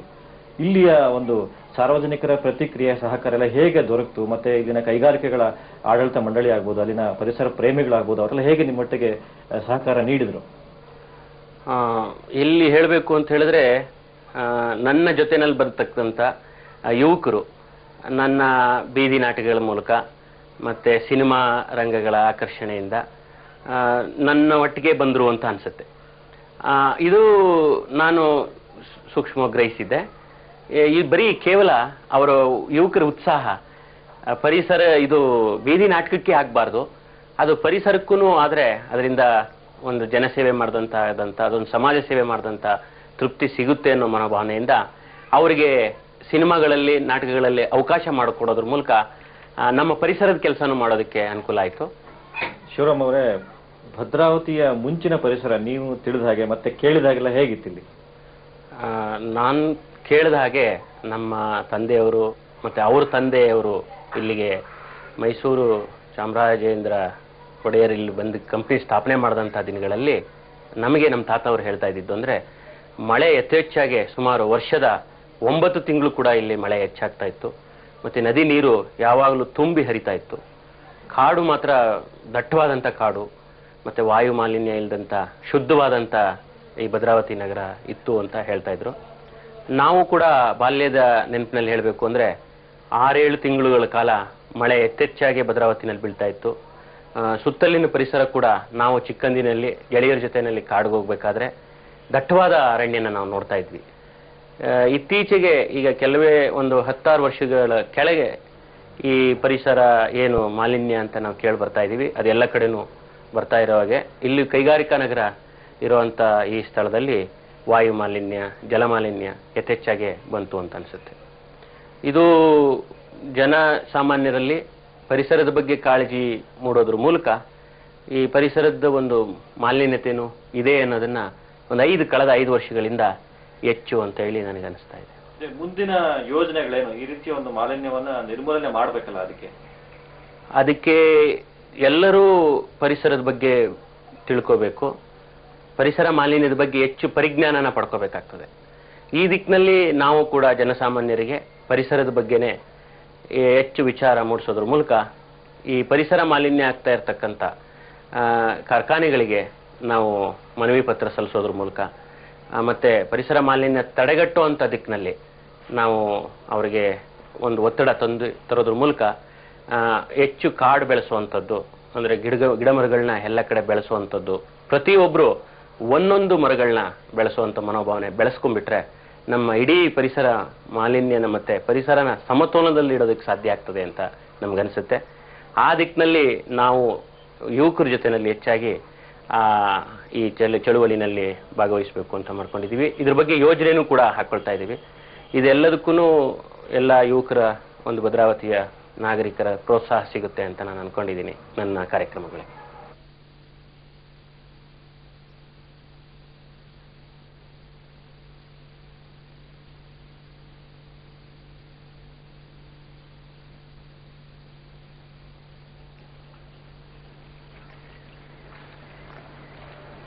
ಶಿವರಾಮ್ ಅವರೇ ಇಷ್ಟೆಲ್ಲ ನೀವು ಸಸ್ಯಗಳನ್ನ ಇಲ್ಲಿ ಪೋಷಣೆ ಮಾಡ್ತಾ ಇದ್ದೀರಾ? ಇಲ್ಲಿ ಈ ಜಾಗದಲ್ಲೇ ಯಾಕೆ ಇಷ್ಟು ಸಸ್ಯಗಳನ್ನ ಹೀಗೆ ನೆಡಬೇಕು ಅಂತ ಅನ್ನಿಸ್ತಿದ್ರೆ ಹಿನ್ನೆಲೆ ಮತ್ತೆ ಕಾರಣ ಏನು? ಇಲ್ಲಿ ನಾವು ಈ ಜಾಗನ ಯಾಕೆ ಆಯ್ಕೆ ಮಾಡ್ಕೊಂಡ್ವಿ ಅಂದ್ರೆ ಈಗ ನಾವು ನೆಟ್ಟಂತ ಗಿಡಗಳು ಅವು ರಕ್ಷಣೆ ಮುಖ್ಯವಾಗಿರ್ಬೇಕಾಗ್ತದೆ. ಇಲ್ಲಿ ಕಾಂಪೌಂಡಿನ ವ್ಯವಸ್ಥೆ ತುಂಬಾ ಚೆನ್ನಾಗಿರೋದ್ರಿಂದ ಇಲ್ಲಿ ನೆಟ್ಟಂತ ಗಿಡ ಸಂಪೂರ್ಣವಾಗಿ ಬೆಳೆಯುವಂತ ಸಾಧ್ಯತೆ ಇರುತ್ತೆ ಅಂತ ಹೇಳಿ ಮೇಲಾಗಿ ಇದು ಒಂದು ಪ್ರಕೃತಿ ಚಿಕಿತ್ಸಾವನ ಅನ್ನೋ ಮಾದರಿನಲ್ಲಿ ಬೆಳೆಸ್ತಾ ಇದೀವಿ ವಂಗೆ ಮತ್ತೆ ಬೇವಿನ ಮರಗಳನ್ನೇ ಹೆಚ್ಚು ಬೆಳೆಸೋದ್ರಿಂದ ಇಲ್ಲಿ ರೋಗಿಗಳಿಗೂ ಇದರದ್ದು ಅವಶ್ಯಕತೆ ಚೆನ್ನಾಗಿರುತ್ತೆ. ಮತ್ತೆ ನಮ್ಮ ಭದ್ರಾವತಿ ವಾಯು ಮಾಲಿನ್ಯಕ್ಕೆ ಒಂದು ಒಳ್ಳೆ ತಡೆಗಟ್ಟಕ್ಕೆ ಒಂದು ಒಳ್ಳೆ ಇದಾಗುತ್ತೆ. ಅಂತ ಹೇಳಿ ಇಲ್ಲಿ ಹೊಂಗೆ ಮತ್ತೆ ಬೇವಿನ ಮರಗಳನ್ನ ಬೆಳೆಸುತ್ತೆ. ಹೊಂಗೆ ಮತ್ತೆ ಬೇವಲ್ದೇನೆ ಇನ್ನೇನೇನು ವೆರೈಟಿಗಳಿದೆ ಈ ಸಸಿಗಳ ಪೈಕಿ? ಇಲ್ಲಿ ಬಂದು ಹೊಂಗೆ ಮತ್ತೆ ಬೇವಿನ ಮರಗಳ ಜೊತೆನಲ್ಲಿ ಪಕ್ಷಿಗಳಿಗೆ ಕೆಲವೊಂದು ಹಣ್ಣಿನ ಗಿಡಗಳಿದೆ. ಆ ಹಣ್ಣಿನ ಗಿಡಗಳನ್ನು ಬೆಳೆಸಿದೀವಿ. ಸಪೋಟ ಸೀತಾಫಲ ಈ ಥರದ್ದು ಒಂದೊಂದು ಅದು ಕೆಲವೊಂದು ಗಿಡಗಳು ಮಾತ್ರ. ಮತ್ತೆ ಯಥೇಚ್ಛಾಗೆ ಬೇವು ಹೊಂಗಿನ ಮರಗಳನ್ನೇ ನಾವು ಹಾಕಿದ್ದೀವಿ ಒಟ್ಟು ಎಷ್ಟು ಸಸ್ಯಗಳನ್ನ ಇಲ್ಲಿ ನೆಟ್ಟಿದ್ದೀರಾ ನೀವು? ಸುಮಾರು ಎರಡು ಸಾವಿರ ಸಸಿಗಳಿಲ್ಲಿ ಈ ಈ ವರ್ಷ ಬೆಳೆಸಿದ್ದೀವಿ. ಅಂದ್ರೆ ಈ ಆಸ್ಪತ್ರೆಯ ಸುತ್ತ ಕೂಡ ಎರಡ್ ಸಾವಿರ ಇದೆ. ಹೌದು. ಎರಡು ಸಾವಿರ ಗಿಡಗಳಿದೆ. ಅಷ್ಟಲ್ಲದೆ ಇದುವರೆಗೆ ನೀವು ನಿಮ್ಮ ಈ ವೇದಿಕೆ ವತಿಯಿಂದ ಏನೇನು ಸಸ್ಯ ಬೆಳೆಸತಕ್ಕಂತ ಕಾರ್ಯಕ್ರಮಗಳ ಮೂಲಕ ನೀವು ಈ ಪರಿಸರ ಮಾಲಿನ್ಯ ತಡೆಗಟ್ಟುವಲ್ಲಿ ನಿಮ್ಮ ಒಂದು ಕೊಡುಗೆ ಕೊಡ್ತಾ ಇದ್ದೀರಾ? ಅಂದ್ರೆ ನಾವು ಕಳೆದ ವರ್ಷ ಅರಣ್ಯ ಇಲಾಖೆ ಮತ್ತೆ ಜಿಲ್ಲಾ ಪರಿಷತ್ ಸಹಾಯದಿಂದ ಅರವತ್ತು ಸಾವಿರ ಸಸಿಗಳನ್ನ ಬೆಳೆಸಿದ್ವಿ. ಆ ಅರವತ್ತು ಸಾವಿರ ಸಸಿಗಳಲ್ಲಿ ಸಸ್ಯ ಗಡಿಯಾರ ಮತ್ತೆ ಇದು ಸಸ್ಯ ಸೂರ್ಯ ಮತ್ತೆ ಡಿ ವೈ ಸಿ ಎಫ್ ಈ ತರ ಆಕಾರವಾಗಿ ಕಲಾತ್ಮಕವಾಗಿ ಗಿಡಗಳನ್ನ ಬೆಳೆಸಿದ್ವಿ. ಇದರಿಂದ ಜನಸಾಮಾನ್ಯರಿಗೆ ಒಂದು ಆಕರ್ಷಣೆ ಆಕರ್ಷಣೆ ಮತ್ತೆ ಜಾಗೃತಿ. ಜಾಗೃತಿನೂ ಮೂಡ್ದಂಗೆ ಆಗುತ್ತೆ ಅಂತ ಹೇಳಿ ತಿಳ್ಕೊಂಡು ಅದನ್ನು ಬೆಳೆಸಿ ಮತ್ತೆ ಅದನ್ನು ಉಚಿತವಾಗಿ ಹಂಚಿದ್ವಿ ಕೂಡ. ಮತ್ತೆ ಕಳೆದ ವರ್ಷ ಸಾವಿರದ ಗಿಡಗಳನ್ನ ನಾವು ಭದ್ರಾವತಿ ನಗರದಲ್ಲಿ ಶಾಲೆಗಳಲ್ಲಿ ಕಾಲೇಜ್ಗಳಲ್ಲಿ ಅಲ್ಲೂ ಕೂಡ ನೆಟ್ ಕೊಟ್ವಿ. ಆಮೇಲೆ ಗಿಡ ನಾವೇ ನೀರು ಹಾಕೊಂಡು ಬೆಳೆಸ್ತೀವಿ ಅನ್ನೋ ಕಡೆನೂ ಕೂಡ ಗಿಡ ನೆಟ್ಕೊಟ್ಟಿದ್ದೀವಿ ಯುವಕರು ಅಂದ ತಕ್ಷಣ ಅವರು ಒಂದ್ ರೀತಿ ಚಂಚಲ ಸ್ವಭಾವ ಇದ್ದ ಕಡೆ ಒಂದ್ ಕಡೆ ಯಾವಾಗಲೂ ಇರೋದಿಲ್ಲ. ಒಂದ್ ರೀತಿ ಸದಾ ಮೂವ್ ಆಗ್ತಾ ಇರ್ತಾರೆ. ಅವ್ರನ್ನ ಒಂದ್ ಕಡೆಗೆ ಎಲ್ಲಾರು ಈ ತರ ಕೆಲಸಗಳಿಗೆ ಒಂದ್ ಕಡೆ ಕಲೆ ಹಾಕಿ ಈ ತರ ಕೆಲಸ ಮಾಡ್ತಕ್ಕಂಥ ಬಹಳ ಕಷ್ಟ ಸಾಧ್ಯವಾದ ಕೆಲಸ ಕೂಡ ಅದು. ನಿಮ್ಮಿಂದ ಈ ಒಂದು ಕಲೆ ಹೇಗೆ ನಿಮಗೆ ಕರಗತ ಆಯ್ತು ಅದು? ಕರಗತ ಅಂತ ಹೇಳಿದ್ರೆ ನಾನು ಮೊದಲಿಂದ ಜನಗಳ ಜೊತೆಯಲ್ಲಿ ಬೆರೆತ್ಕೊಂಡು ಅವರ ಒಂದು ವಿಷಯಗಳಿಗೆ ಸ್ಪಂದಿಸುವಂತ ಮನೋಭಾವನೆ ಇರೋದ್ರಿಂದ. ಮತ್ತೆ ಗೆಳೆಯರು ನಾವು ಮಾಡೋ ಕೆಲಸ ಒಳ್ಳೆ ಕೆಲಸ ಇದೆ. ಪರಿಸರದ್ದಾಗ್ಬೋದು ಬೀದಿ ನಾಟಕಗಳಾಗ್ಬೋದು. ನಾನು ಹೇಳಿದ್ರೆ ಬರೋ ಅಂತ ಒಂದು ಇದನ್ನ ಇಟ್ಕೊಂಡಿದ್ದಾರೆ. ಮತ್ತೆ ಭದ್ರಾವತಿ ಜನ ಎಲ್ಲ ರೀತಿಯಲ್ಲೂ ಸಹಕಾರ ನನಗೆ. ಸಂಪೂರ್ಣವಾಗಿ ಕೊಡ್ತಾರಲ್ಲ. ಹಾಗಾಗಿ ಈ ಕೆಲಸಗಳನ್ನೆಲ್ಲ ಮಾಡೋದಕ್ಕೆ ಸಾಧ್ಯ ಆಯ್ತು ಅಂತಾನೆ ಹೇಳ ಹಣಕಾಸಿನ ಒಂದು ಸೌಲಭ್ಯ ಹೇಗೆ ನಿಮಗೆ ಆಗುತ್ತೆ? ಯಾಕಂದ್ರೆ ಇವೆಲ್ಲ ಅಷ್ಟು ಸುಲಭ ಆಗೋದಿಲ್ಲ. ಬೆಳೆಸ್ತಕ್ಕಂಥದ್ದು ಸಸಿನ ಒಂದು ಕಡೆಗೆ ಆ ದೃಷ್ಟಿಯಿಂದ. ಹಣಕಾಸಿನ ಪರಿಸ್ಥಿತಿ ಅಂದ್ರೆ ತುಂಬಾ ಕಷ್ಟನೇ.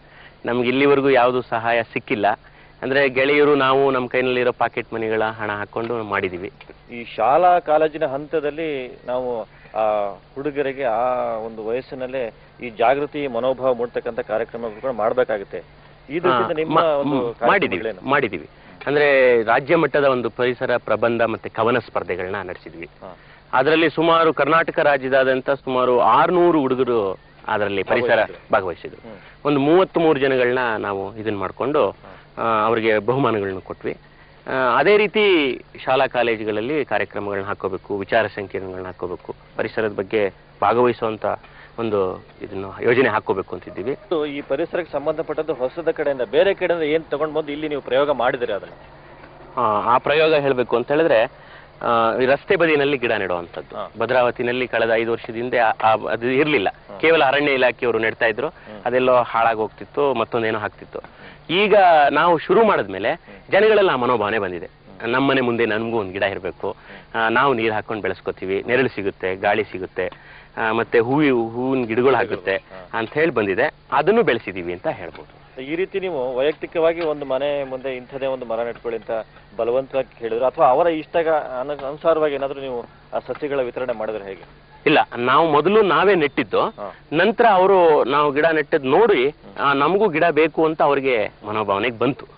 ಈ ರೀತಿ ನೀವು ಆ ರೀತಿ ವೈಯಕ್ತಿಕವಾಗಿ ಮನೆಗಳಿಗೆ ಯಾವ್ಯಾವ ಪ್ರಭೇದದ ಸಸ್ಯಗಳನ್ನ ಹಂಚಿಕೆ ಮಾಡಿದಿರಾ ಸಂಪಿಗೆ ಗಿಡಗಳನ್ನ ಹಾಕೊಟ್ಟಿದೀವಿ ಮತ್ತೆ ನಾವು ಹೂವಿನ ಗಿಡಗಳಲ್ಲಿ ಬಂದು ಪಾರಿಜಾತ ಗಿಡಗಳನ್ನ ಇಟ್ಕೊಟ್ಟಿದ್ದೀವಿ. ಮತ್ತೆ ಹಲಸಿನ ಗಿಡ ಹಣ್ಣಿನ ಗಿಡಗಳು ನೆಟ್ಕೊಟ್ಟಿದೀವಿ ಆ, ಮತ್ತೆ ನೆರಳಿನ ಗಿಡಗಳು ಹೊಂಗೆ ಬೇವು ಈ ತರ ಗಿಡಗಳನ್ನ ನೆಟ್ಕೊಟ್ಟಿದೀವಿ ಇಷ್ಟೆಲ್ಲ ವಿಷಯ ಹೇಳಿದ್ರಿ ಶಿವರಾಮ್. ಈ ನರ್ಸರಿಯನ್ನ ಬೆಳೆಸ್ತಕ್ಕಂಥ ವ್ಯವಸ್ಥೆ ಅಂದ್ರೆ ಇಲಾಖೆ ಮೂಲಕ ಎಲ್ಲಿ ಅದರ ಒಂದು ಪಾಲನೆ ಪೋಷಣೆ ಕಾರ್ಯಕ್ರಮ ನೀವು ಮಾಡಿದ್ರು ಅದು ಇಲ್ಲೇ ಅಂತರ್ಗಂಗೆಗೆ ಹೋಗ್ತಾ ಕೊರಳುಕೊಪ್ಪ ನರ್ಸರಿ ಅಂತ ಇದೆ. ಭದ್ರಾವತಿ ಹತ್ತಿರ. ಭದ್ರಾವತಿ ಒಂದ್ ಸುಮಾರು ನಾಲ್ಕು ಕಿಲೋಮೀಟರ್ ಆಗುತ್ತೆ. ಅಲ್ಲಿ ಗೌರಾಪುರದ ಪಕ್ಕದಲ್ಲೇನೆ ಅರಣ್ಯ ಇಲಾಖೆ ನರ್ಸ ಇದನ್ನ ನರ್ಸರಿನಲ್ಲೇ. ಸುಮಾರು ಎಷ್ಟು ಇದಕ್ಕೆ ವಯಸ್ಸಾಗಿದೆ ಇಲ್ಲಿನ ಸಸಿಗಳಿಗೆಲ್ಲ? ಈ ಗಿಡಗಳಿಗೆಲ್ಲ ಬಂದು ಎರಡು ವರ್ಷಗಳಾಗಿದೆ. ಮತ್ತೆ ಇದೆಲ್ಲ ಒಂದು ವರ್ಷದ ಗಿಡಗಳು. ಶಿವರಾಮ್ ಅವರೇ ನಾನು ಕಂಡ ಹಾಗೆ ಈ ಪರಿಸರಕ್ಕೆ ಸಂಬಂಧಪಟ್ಟ ಚಟುವಟಿಕೆಯಲ್ಲಿ ನೀವು ಹೆಚ್ಚಾಗಿ ಗಿಡ ಮರಗಳನ್ನ ನೆಡುವಲ್ಲೇ ಹೆಚ್ಚು ಗಮನ ಕೊಟ್ಟಿದ್ರ ಅಂತ ಅನ್ನಿಸ್ತು. ಮಿಕ್ಕಂತೆ ಜಲಮಾಲಿನ್ಯ ಆಗಬಹುದು, ಮತ್ತೆ ಶಬ್ದ ಮಾಲಿನ್ಯ ಆಗಬಹುದು, ಈ ಬಗ್ಗೆ ಸಾರ್ವಜನಿಕರಲ್ಲಿ ಏನು ಜಾಗೃತಿ ಮೂಡಿಸಬೇಕು ಅಂತ ನಿಮ್ಮ ಯೋಜನೆ ಇದೆ? ತಿಳಿಸ್ತೀರಾ? ಈಗ, ಈಗಾಗಲೇ ನಾವು ಜಲಮಾಲಿನ್ಯದ ಬಗ್ಗೆ ಸಾಕಷ್ಟು ವಿಚಾರನ ಜನಗಳಿಗೆ ತಿಳಿಸಿದ್ದೀವಿ ಮತ್ತು ಅವರು ಕೂಡ ಅದ್ರ ಬಗ್ಗೆ ವಿಚಾರ ಮಾಡುವಂಥ ಸಂದರ್ಭಕ್ಕೆ ಬಂದಿದ್ದಾರೆ. ಇದ್ರ ಜೊತೆಗೆ ನೀವು ಹೇಳಿದಾಗೆ ಶಬ್ದ ಮಾಲಿನ್ಯದ ಬಗ್ಗೆನೂ ನಾವು ಗಮನ ಕೊಡಬೇಕು. ಈ ಗಿಡ ನೆಡುವಂತ ಕಾರ್ಯಕ್ರಮ ಒಂದು ಹಂತಕ್ಕೆ ತಲುಪಿದಾಗ ಅವು ಸ್ವಲ್ಪ ದೊಡ್ಡವು ಹಾಕ್ತಾ ಇದ್ದಾಗೆ.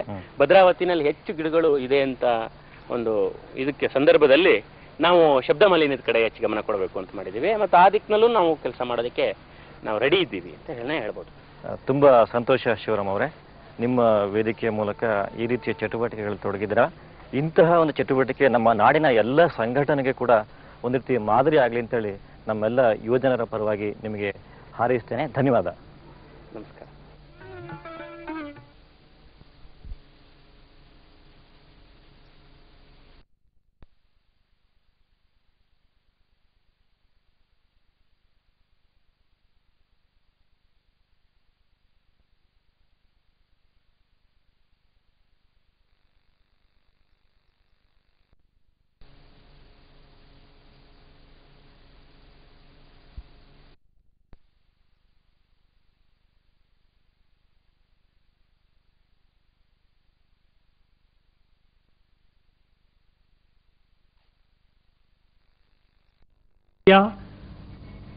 ಮತ್ತು Sheen washing powder Mysore detergent ಬಿಲ್ಲೆ ಇದು ನೀಲಿ ಬೆಲೆ ಎರಡು ರೂಪಾಯಿ. ಮೈಸೂರು ಡಿಟರ್ಜೆಂಟ್ ಬಿಲ್ಲೆ ಕೊಳೆಗೆ ಶತ್ರು ಬಟ್ಟೆಗೆ ಸೌಮ್ಯ. ಅದುವೇ ಮೈಸೂರು ಡಿಟರ್ಜೆಂಟ್ ಬಿಲ್ಲೆ bar bar bar bar Mysore bar Mysore bar.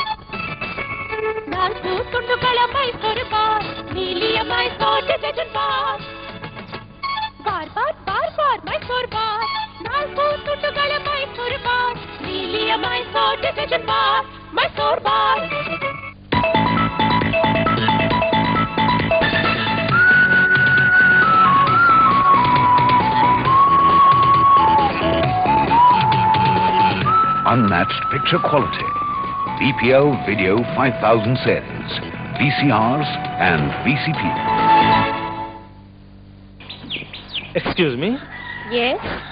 ನಿಮ್ ಬಟ್ಟೆ ಇಷ್ಟು ಹೊಳಿತಾ ಇದೆಯಲ್ಲ?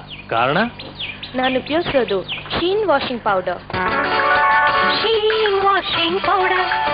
Kerala ನೊರೆಯಲ್ಲಿ ಹೆಚ್ಚು ಹೊಗೆಯುವ ಬಟ್ಟೆ ಬಾಳಿಸಿ ಹೊಳೆಯ ಓಡಿಸುವ ಕಡಿಮೆ ದರದಲ್ಲಿ ಕೈಗೆ ನಿಲುಕುವ Sheen washing powder. Sheen washing powder. Sheen ಒಗೆತ ನಿಜವಾದ ಒಗೆತ. ಶೀನ್ ಪರಿಮಳಯುಕ್ತ. ಹ್ಮ್.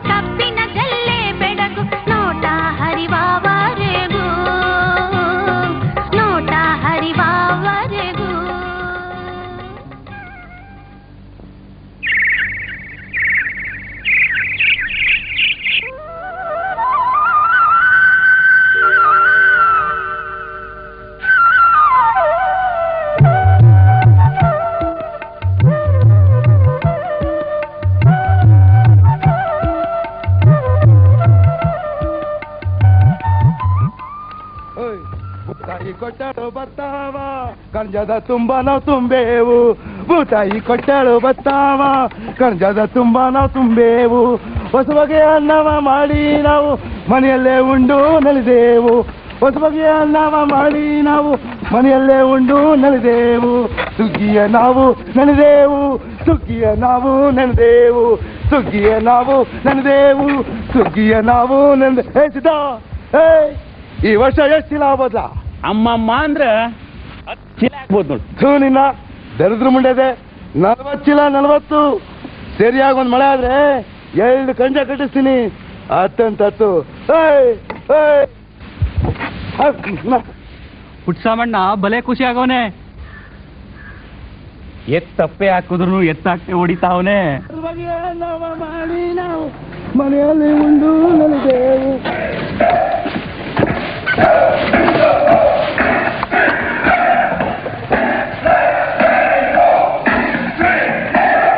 ಏ? ಇದೇನ ಇದು?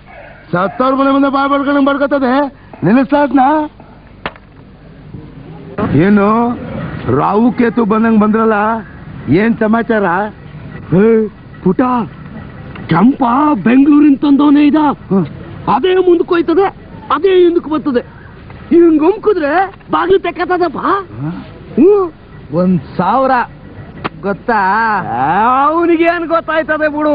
ಅವನಿಗೆ ಏನಿದ್ರು ಅರ್ರರ್ರ ಆಟಯ್ಯ ಹ್ಮ್. ಅರ್ರರ್ರ ಅಂದ್ರೇನೆ ಉಣ್ಣಾಕ್ ಬರೋದು. ಏನ್ ಉಣ್ಣದು? ಅದೇ ತಂಗ್ಳಿಟ್ಟು ಒಡ್ಕಲ್ ರೊಟ್ಟಿ. ಚಿಕನ್ ಕಬಾಬ್ ಗೊತ್ತಾ? ನಿಂಗೆ ಇನ್ನೂ ಏನೇನೋ ತೋರಿಸ್ಕೊಡ್ತೀವಿ. ಕೆರೆ ತಾಕಪ್ಪ ಬಾ. ಬೇಡಪ್ಪ ನಮ್ ಶಿವರಾಮಣ್ಣ ಬತ್ತಾನೆ ಇನ್ನ ಕಲ್ಲು ಹೊಡಿಬೇಕು ನಿಮ್ಮನೆ ಆರಿಸಿದ್ದೆ ಅಲ್ವಾ ಅವ್ನಿಗೆ ಹೇಳ ಹೊಡ್ಕೋತಾನೆ. ಬರ್ಲಕ್ಕೆಪ್ಪ ಬರ್ಲ.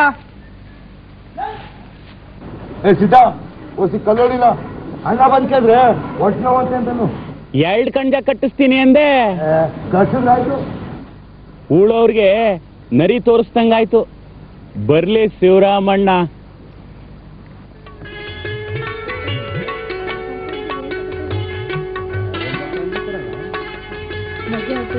ಓಹ್ ಏನ್ ಬೇಡ ಎಲ್ಲ ಸಂಸಾರ ಸಮೇತ ಕಡಕ್ ಹೊರಟಂಗೈತೆ ಸುಗ್ಗಿ ಕಾಲದಾಗ ಸುಮ್ಕೆ ಕೂತ್ಕೊಳಕ್ ಆಗ್ತೈತಾ? ಕಣಕ್ ಹುಲ್ಲಾಕೈತೆ ಬಿಸಿಲು ಹೋಗೋದ್ರಾಗೆ ಬಡ್ದಾಕವ ಅಂತ. ಸಂಕ್ರಾಂತಿ ಬೇರೆ ಬಂತು. ಮೂಕ ಹೇಳಪ್ಪ. ನಿಮ್ದೆಷ್ಟು ಸುಮ್ಕಿರವ ನಮ್ದು ಕೇಳ್ಬೇಡ ನಾಚೆ ಆಯ್ತದೆ. ನಮ್ದೆಲ್ಲ ಬರೀ ಸೇರು ಚಟಾಕು ಪಾವು ಆಯ್ತದೆ ಶಿವರಾಮು ನಿಜ ಹೇಳ್ಬೇಕು ಅಂದ್ರೆ ಈ ಊರಾಗ ನೀನೊಬ್ನೇ ಕಣೆ ಕಂಜ ತುಂಬನು ಅಂದ್ರೆ. ಅದಕ್ಕೆ ನನ್ನ ತಮ್ಮ ಪುಟ್ಸ್ವಾಮಿ ಕಾರಣ. ಮೂರೊತ್ತು ಮೂಗ್ ಬಸ್ಸು ನಂಗೆ ದುಡಿತಾನಪ್ಪ. ಅದಕ್ಕೆ ಬುತ್ತಿ ಕೊಟ್ಟು ಬರವ ಅಂತ ಹೋಯ್ತಾ ಇದ್ದೀವಿ. ರಾತ್ರಿ ಎಲ್ಲ ರಾಸಿ ಕಾಯ್ಕೊಂಡು ಕಂಡಾಗೆ ಮಲಗಿದ್ದ. ಒತ್ತಾರೆ ಬಂದು ನೀರು ಇಟ್ಕೊಂಡು ಹೋಗೋ ಪುಟ್ಸ್ವಾಮಿ ಅಂದ್ರೆ ಸಂಕ್ರಾಂತಿ ಹಬ್ಬದ ತನಕ ಸ್ನಾನನೇ ಮಾಡಕ್ಕಿಲ್ಲ ಅದಕ್ಕೆ ಅಂತಾನೆ. ಒಳ್ಳೆ ಅತ್ಗೆ ಒಳ್ಳೆ ಮೈದ. ನೋಡಿ ಒಂದು ಮಾತು ಹೇಳ್ತೀನಿ. ನೀವು ಮಾತ್ರ ಬೇಜಾರು ಪಟ್ಕೋಬೇಡ್ದು. ಪುಟ್ಸ್ವಾಮಿ ಏನೋ ಒಳ್ಳೆನೆ. ಆದರೆ ಅವನ ಸಹವಾಸ ಚೆನ್ನಾಗಿಲ್ಲ.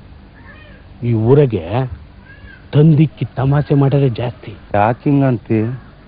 ನಿನ್ನ ಕಿವಿಯಾಗೇನಾರು ಬಿತ್ತ? ಕಿವಿಯಾಗಲ್ಲಪ್ಪ ಕೊಂಡಿಗೆ ಬಿತ್ತು. ಈ ನಡುವೆ ನಿನ್ನ ತಮ್ಮ ಅಲ್ಲಾಳ್ ಟೋಪಿಗಳ ಜೊತೆ ಓಡಾಡ್ತಾನಪ್ಪ. ಅದೇ ಆ ಮರ್ದಿಮ್ಮ ಕೆಂಪ ಇವ್ರ ಜೊತೆಲಿ. ನೋಡು ಜನ ಬದುಕಿದ್ರೆ ಬಾಯ್ ಬಿಡ್ಕಂತಾರೆ. ಕೆಟ್ರೆ. ನೋಡ್ಕೊತೀನಪ್ಪ. ಆ ಅಲಾಲ್ ಟೋಪಿಗಳ ಸಂಘ ಬಿಡಿಸ್ತೀನಿ. ಶಿವರಾಮ? ನಮ್ಮ ಪುಟ್ಟ ಯಾಕೆ ಹಿಂಗಾಗುತ್ತ ಶಿವರಾಮ ನಾನು ಸಂಜೆದಾಗೆ ಮಂತಕ್ಕೆ ಬರ್ತೀನಿ. ನೋಡಿ. ಮೊದಲು ಕಣತಕ್ಕೆ ಹೋಗೋಣ ನೋಡಿ. ಸಿದ್ದನ್ ಕೇಳಿದ್ರೆ ಎಲ್ಲ ಗೊತ್ತಾಯ್ತದೆ. ನಡೀರಿ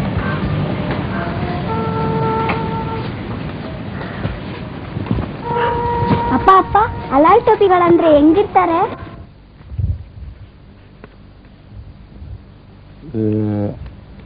ಸೊ ನಂಗೆ ಎಲೆ ಹಿಡ್ಕೊಳಕ್ಕೆ ಬಾಕಿಲ್ಲಪ್ಪ. ನಂಗೆ ತಾನೇ ಗೊತ್ತಿತ್ತ ಮೊದ್ ಮೊದ್ಲು. ಕೆಂಪು ಅಂತಾವೆಲ್ಲ ನಾನು ಕಲ್ತ್ಕೊಂಡಿದ್ದ.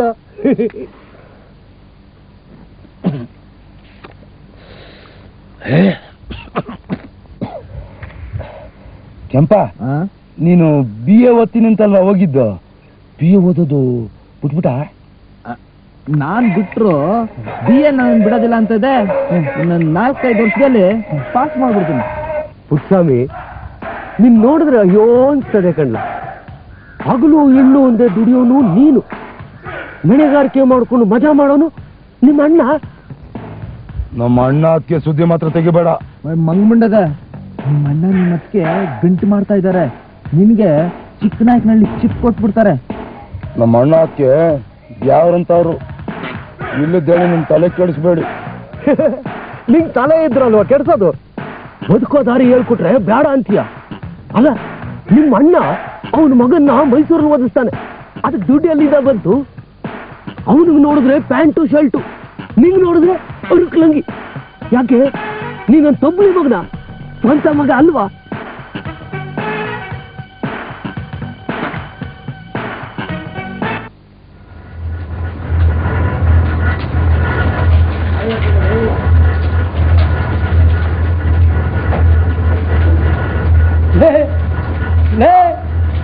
ಅಣ್ಣ ನೀನು ಒಳ್ಳೆ ಕಬ್ಬಿದ್ದಾಗಿಂತ ಅದಲ್ಲ ಪುಟ ನಿಮ್ ಮತ್ತೆ ನಸ್ಕುನಿ ಕಾಯಿ ತಗ ತಿನ್ನು.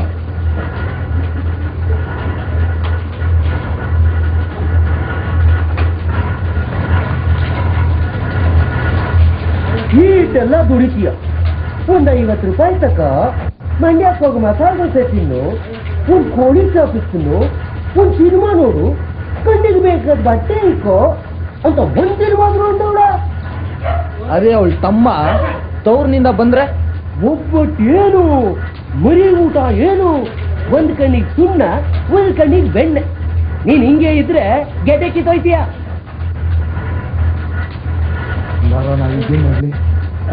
ಕಾಸು ಕೊಟ್ಟು ಕಣಿ ಕೇಳು. ನಿಮ್ ಜಮೀನಲ್ಲಿ ವರ್ಷಕ್ಕೆ ಎರಡು ಲಕ್ಷ ರೂಪಾಯಿ ಆದಾಯ ಐತೆ. ನಿಂಗೇನಾದ್ರು ಕೊಟ್ಟವನ?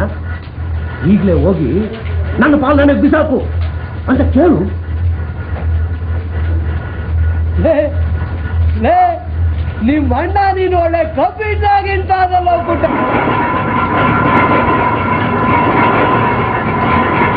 ನಿಮ್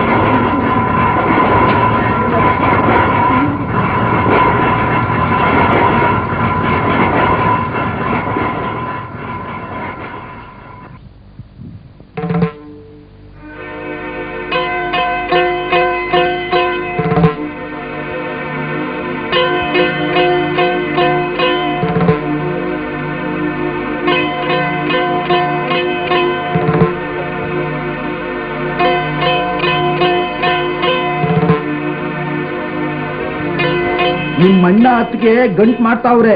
ನಿಂಗೆ ಚಿಕ್ಕನಾಯ್ಕನಹಳ್ಳಿ ಚಿಪ್ ಕೊಡ್ತಾ ಇರೆ ನೋಡ್ತಾ ಇರು.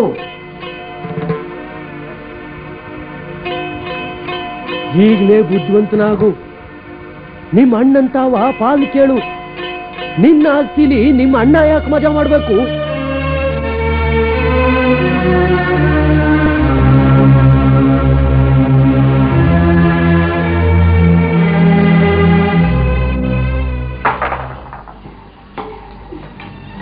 ನೆತ್ತಿ ಉರಿತದೆ ಸಾಕು ಬಿಡತ್ತೆ. ಇರುವ ಮೊನ್ನೆ ಬಸ್ಸಿ ಹೆಂಗಸು? ತಲೆಯಲ್ಲಿ ಗೊತ್ತಿದೆ ನೆತ್ತಿ ಸಿಂಪಾಗುತ್ತೆ ಗೊತ್ತಾ? ಸುಮ್ಮನೆ ಎಣ್ಣೆ ಹೊತ್ತು ಕಳಿಸ್ತಾರ ರಾಜ ಇನ್ನು ಎಲ್ಸೆತ್ತಂಗ ಆಡ್ಬೇಡ ನಿನ್ ಗಂಡಗೆ ನೀರ್ ಕಂಡ್ರೆ ಆಗಕ್ಕಿಲ್ಲ ನಿಂಗೆ ಎಣ್ಣೆ ಕಂಡ್ರೆ ಆಗಕ್ಕಿಲ್ಲ ತಕ್ಕಂಡು ಮುಕ್ಕಂಡು ಜೋಡಿ ಅಲ್ಲ ಯಾವ್ದು? ಎರಡು ಎಳೆ ನಿಂಬೆಕಾಯಿ. ನೀ ಹೇಳ್ಕೊಂಡಿದ್ದೆಲ್ಲ ಚೆನ್ನಾಗಿ ಜ್ಞಾಪಕ ಆಯ್ತೈತೆ. ನೀನು ಯೋಚನೆ ಮಾಡ್ಬೇಡ. ಎಲ್ಲ ಹುಷಾರಾಗಿ ನೋಡ್ಕೊತೀನಿ. ರೋಜಾ ಒಂದ್ ಮೂಟೆ ಅವರೆಕಾಯಿ ತಗೊಂಡೋಗು. ಎರ್ಗೆ ಆಗ್ತಿದ್ದಂಗೆ ಹೇಳ್ ಕಳಿಸು ಗಾಡಿ ಕಟ್ಕೊಂಡ್ ಬರ್ತೀನಿ. ಅವಾಗ ನಾನು ಬರ್ತೀನಿ. ನಿಮ್ ಚಿಕ್ಕಮ್ಮ ಇನ್ನೂ ಎರ್ಗೆನೆ ಆಗಿಲ್ಲ.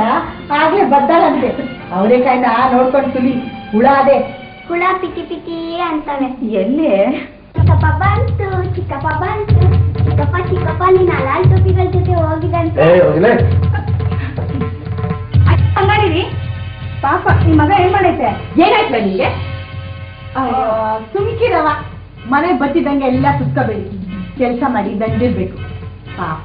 ಇನ್ನೊಂದ್ಸತಿ ಇರಪ್ಪ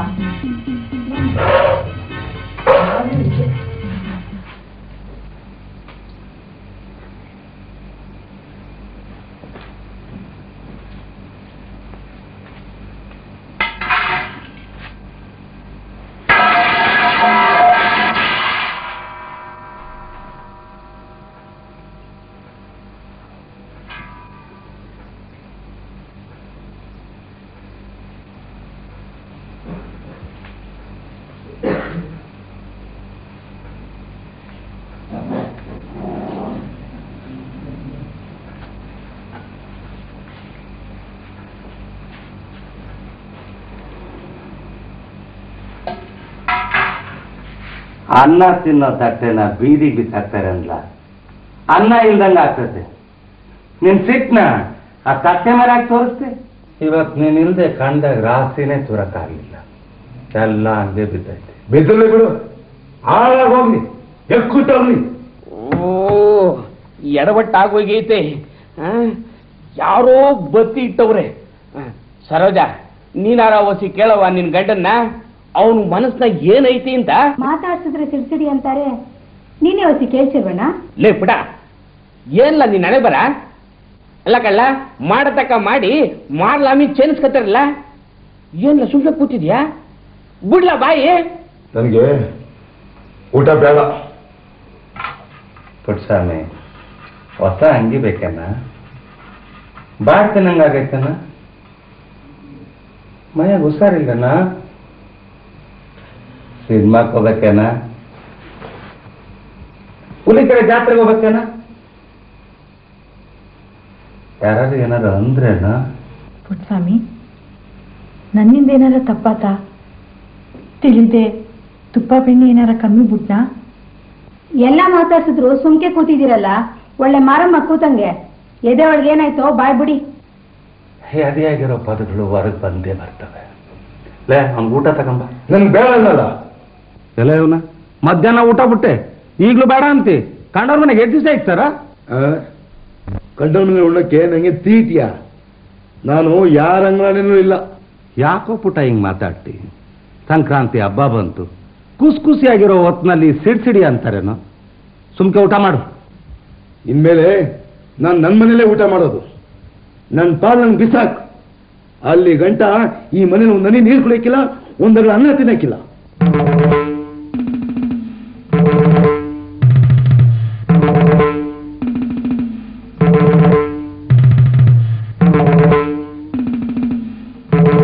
ಯಾಕೆ? ಬ್ಯಾರೆ ಹೋಗಿ ಏನ್ ಎರಡ್ ಕೈಲಿ ಉಣ್ತೀಯಾ? ನಮ್ಮನೆ ನಮ್ಮ ಮನೆ ಸುದ್ದಿ ನಿಂಗೈತೆ ಸುಮ್ಕೆ ಎದೋಗು ಏಟ್ ವರ್ಷ ಜೀತ ಮಾಡಿ ಸಾಕು. ಸಂಕ್ರಾಂತಿ ಒಳಗೆ ನನ್ನ ಪಾಲು ಬೇಕೇ ಬೇಕು.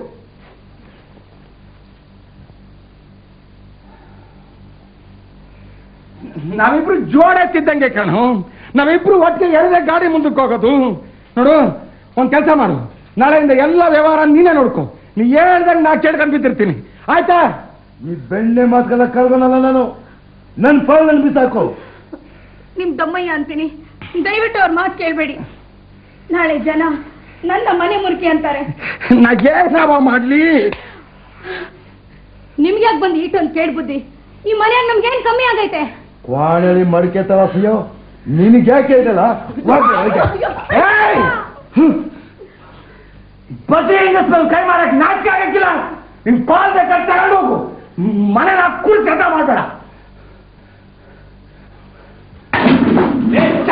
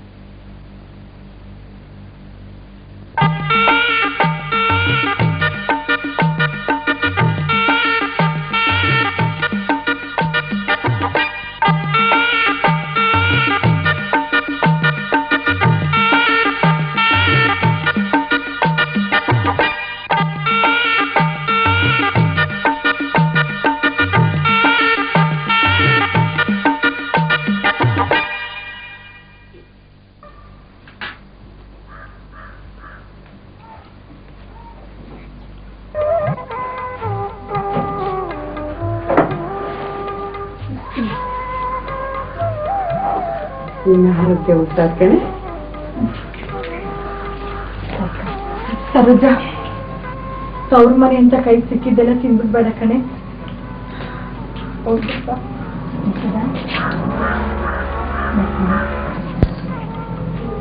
ಇಲ್ಲಿ ನಡೆದಿದ್ನೆಲ್ಲ ಮರ್ತ್ ಬಿಡವ ಮತ್ತಲ್ಲೂ ಅಲ್ಲಿ ಹೇಳಕ್ ಹೋಗ್ಬೇಡ? ಅವ್ರು ಹೆಂಗಾರ ಹಾರಾಡ್ಲಿ. ನೀವ್ ಮಾತ್ರ ಭಾಗ ಕೊಡ್ಬೇಡಿ.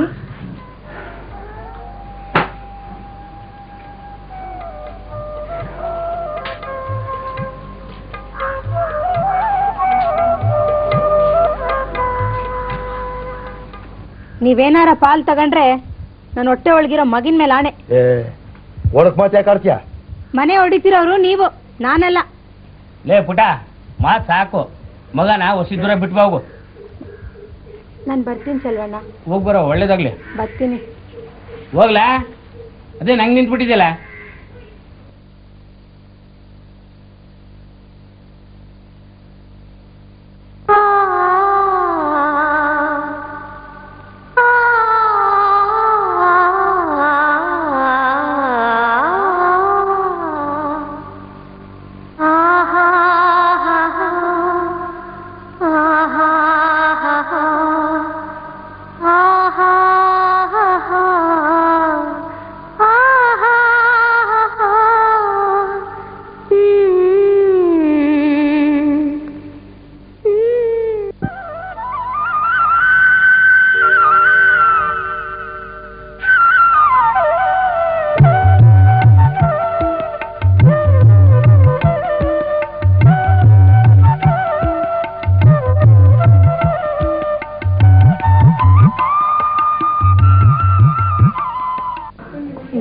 ರಾಶಿ ಬೆಳೆಯೋದು ಈ ವರ್ಷಕ್ಕೆ ಕೊನೆ ಅಂತ ಕಾಣಿಸ್ತದೆ.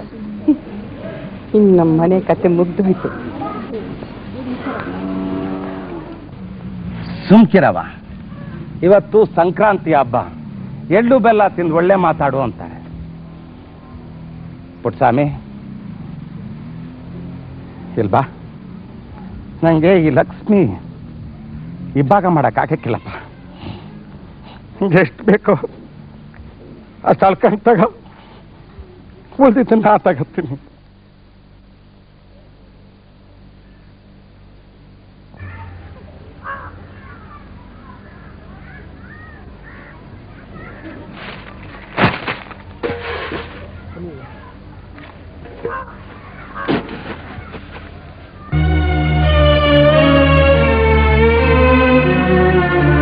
ಭಾಗ ಬೇಕು ಭಾಗ ಬೇಕು ಅಂತ ಬಂಬಳ ಹೊಡಿತಿದ್ದಲ್ಲೋ?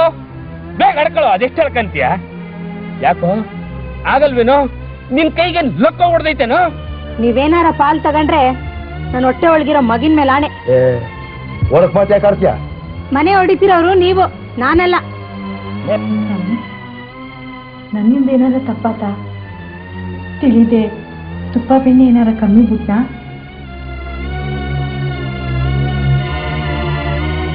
ನಾವಿಬ್ರು ಜೋಡೆತ್ತಿದ್ದಂಗೆ ಕಣು. ನಾವಿಬ್ರು ಒಟ್ಟಿಗೆ ಎರಡೇ ಗಾಡಿ ಮುಂದಕ್ಕೆ ಹೋಗೋದು. ನೋಡು, ಒಂದು ಕೆಲಸ ಮಾಡು. ನಾಳೆಯಿಂದ ಎಲ್ಲ ವ್ಯವಹಾರ ನೀನೇ ನೋಡ್ಕೊ. ನೀ ಹೇಳ್ದಂಗೆ ನಾ ಕೇಳ್ಕೊಂಡ್ ಬಿದ್ದಿರ್ತೀನಿ. ಆಯ್ತಾ?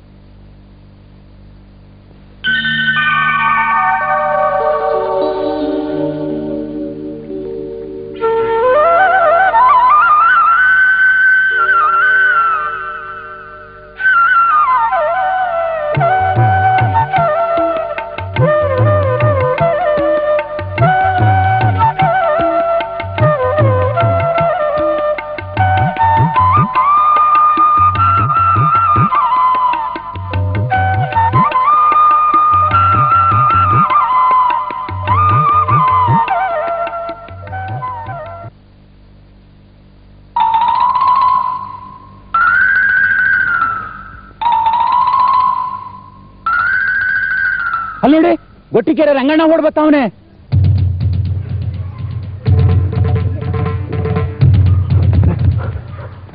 ಮತ್ತೆ ಮತ್ತೆ ಏನದು? ಸರೋಜಕ್ಕಂಗೆ? ಏನಾಯ್ತು ಸರೋಜಕ್ಕಂಗೆ? ಏನದು? ಅವಳಿ ಜವಳಿ.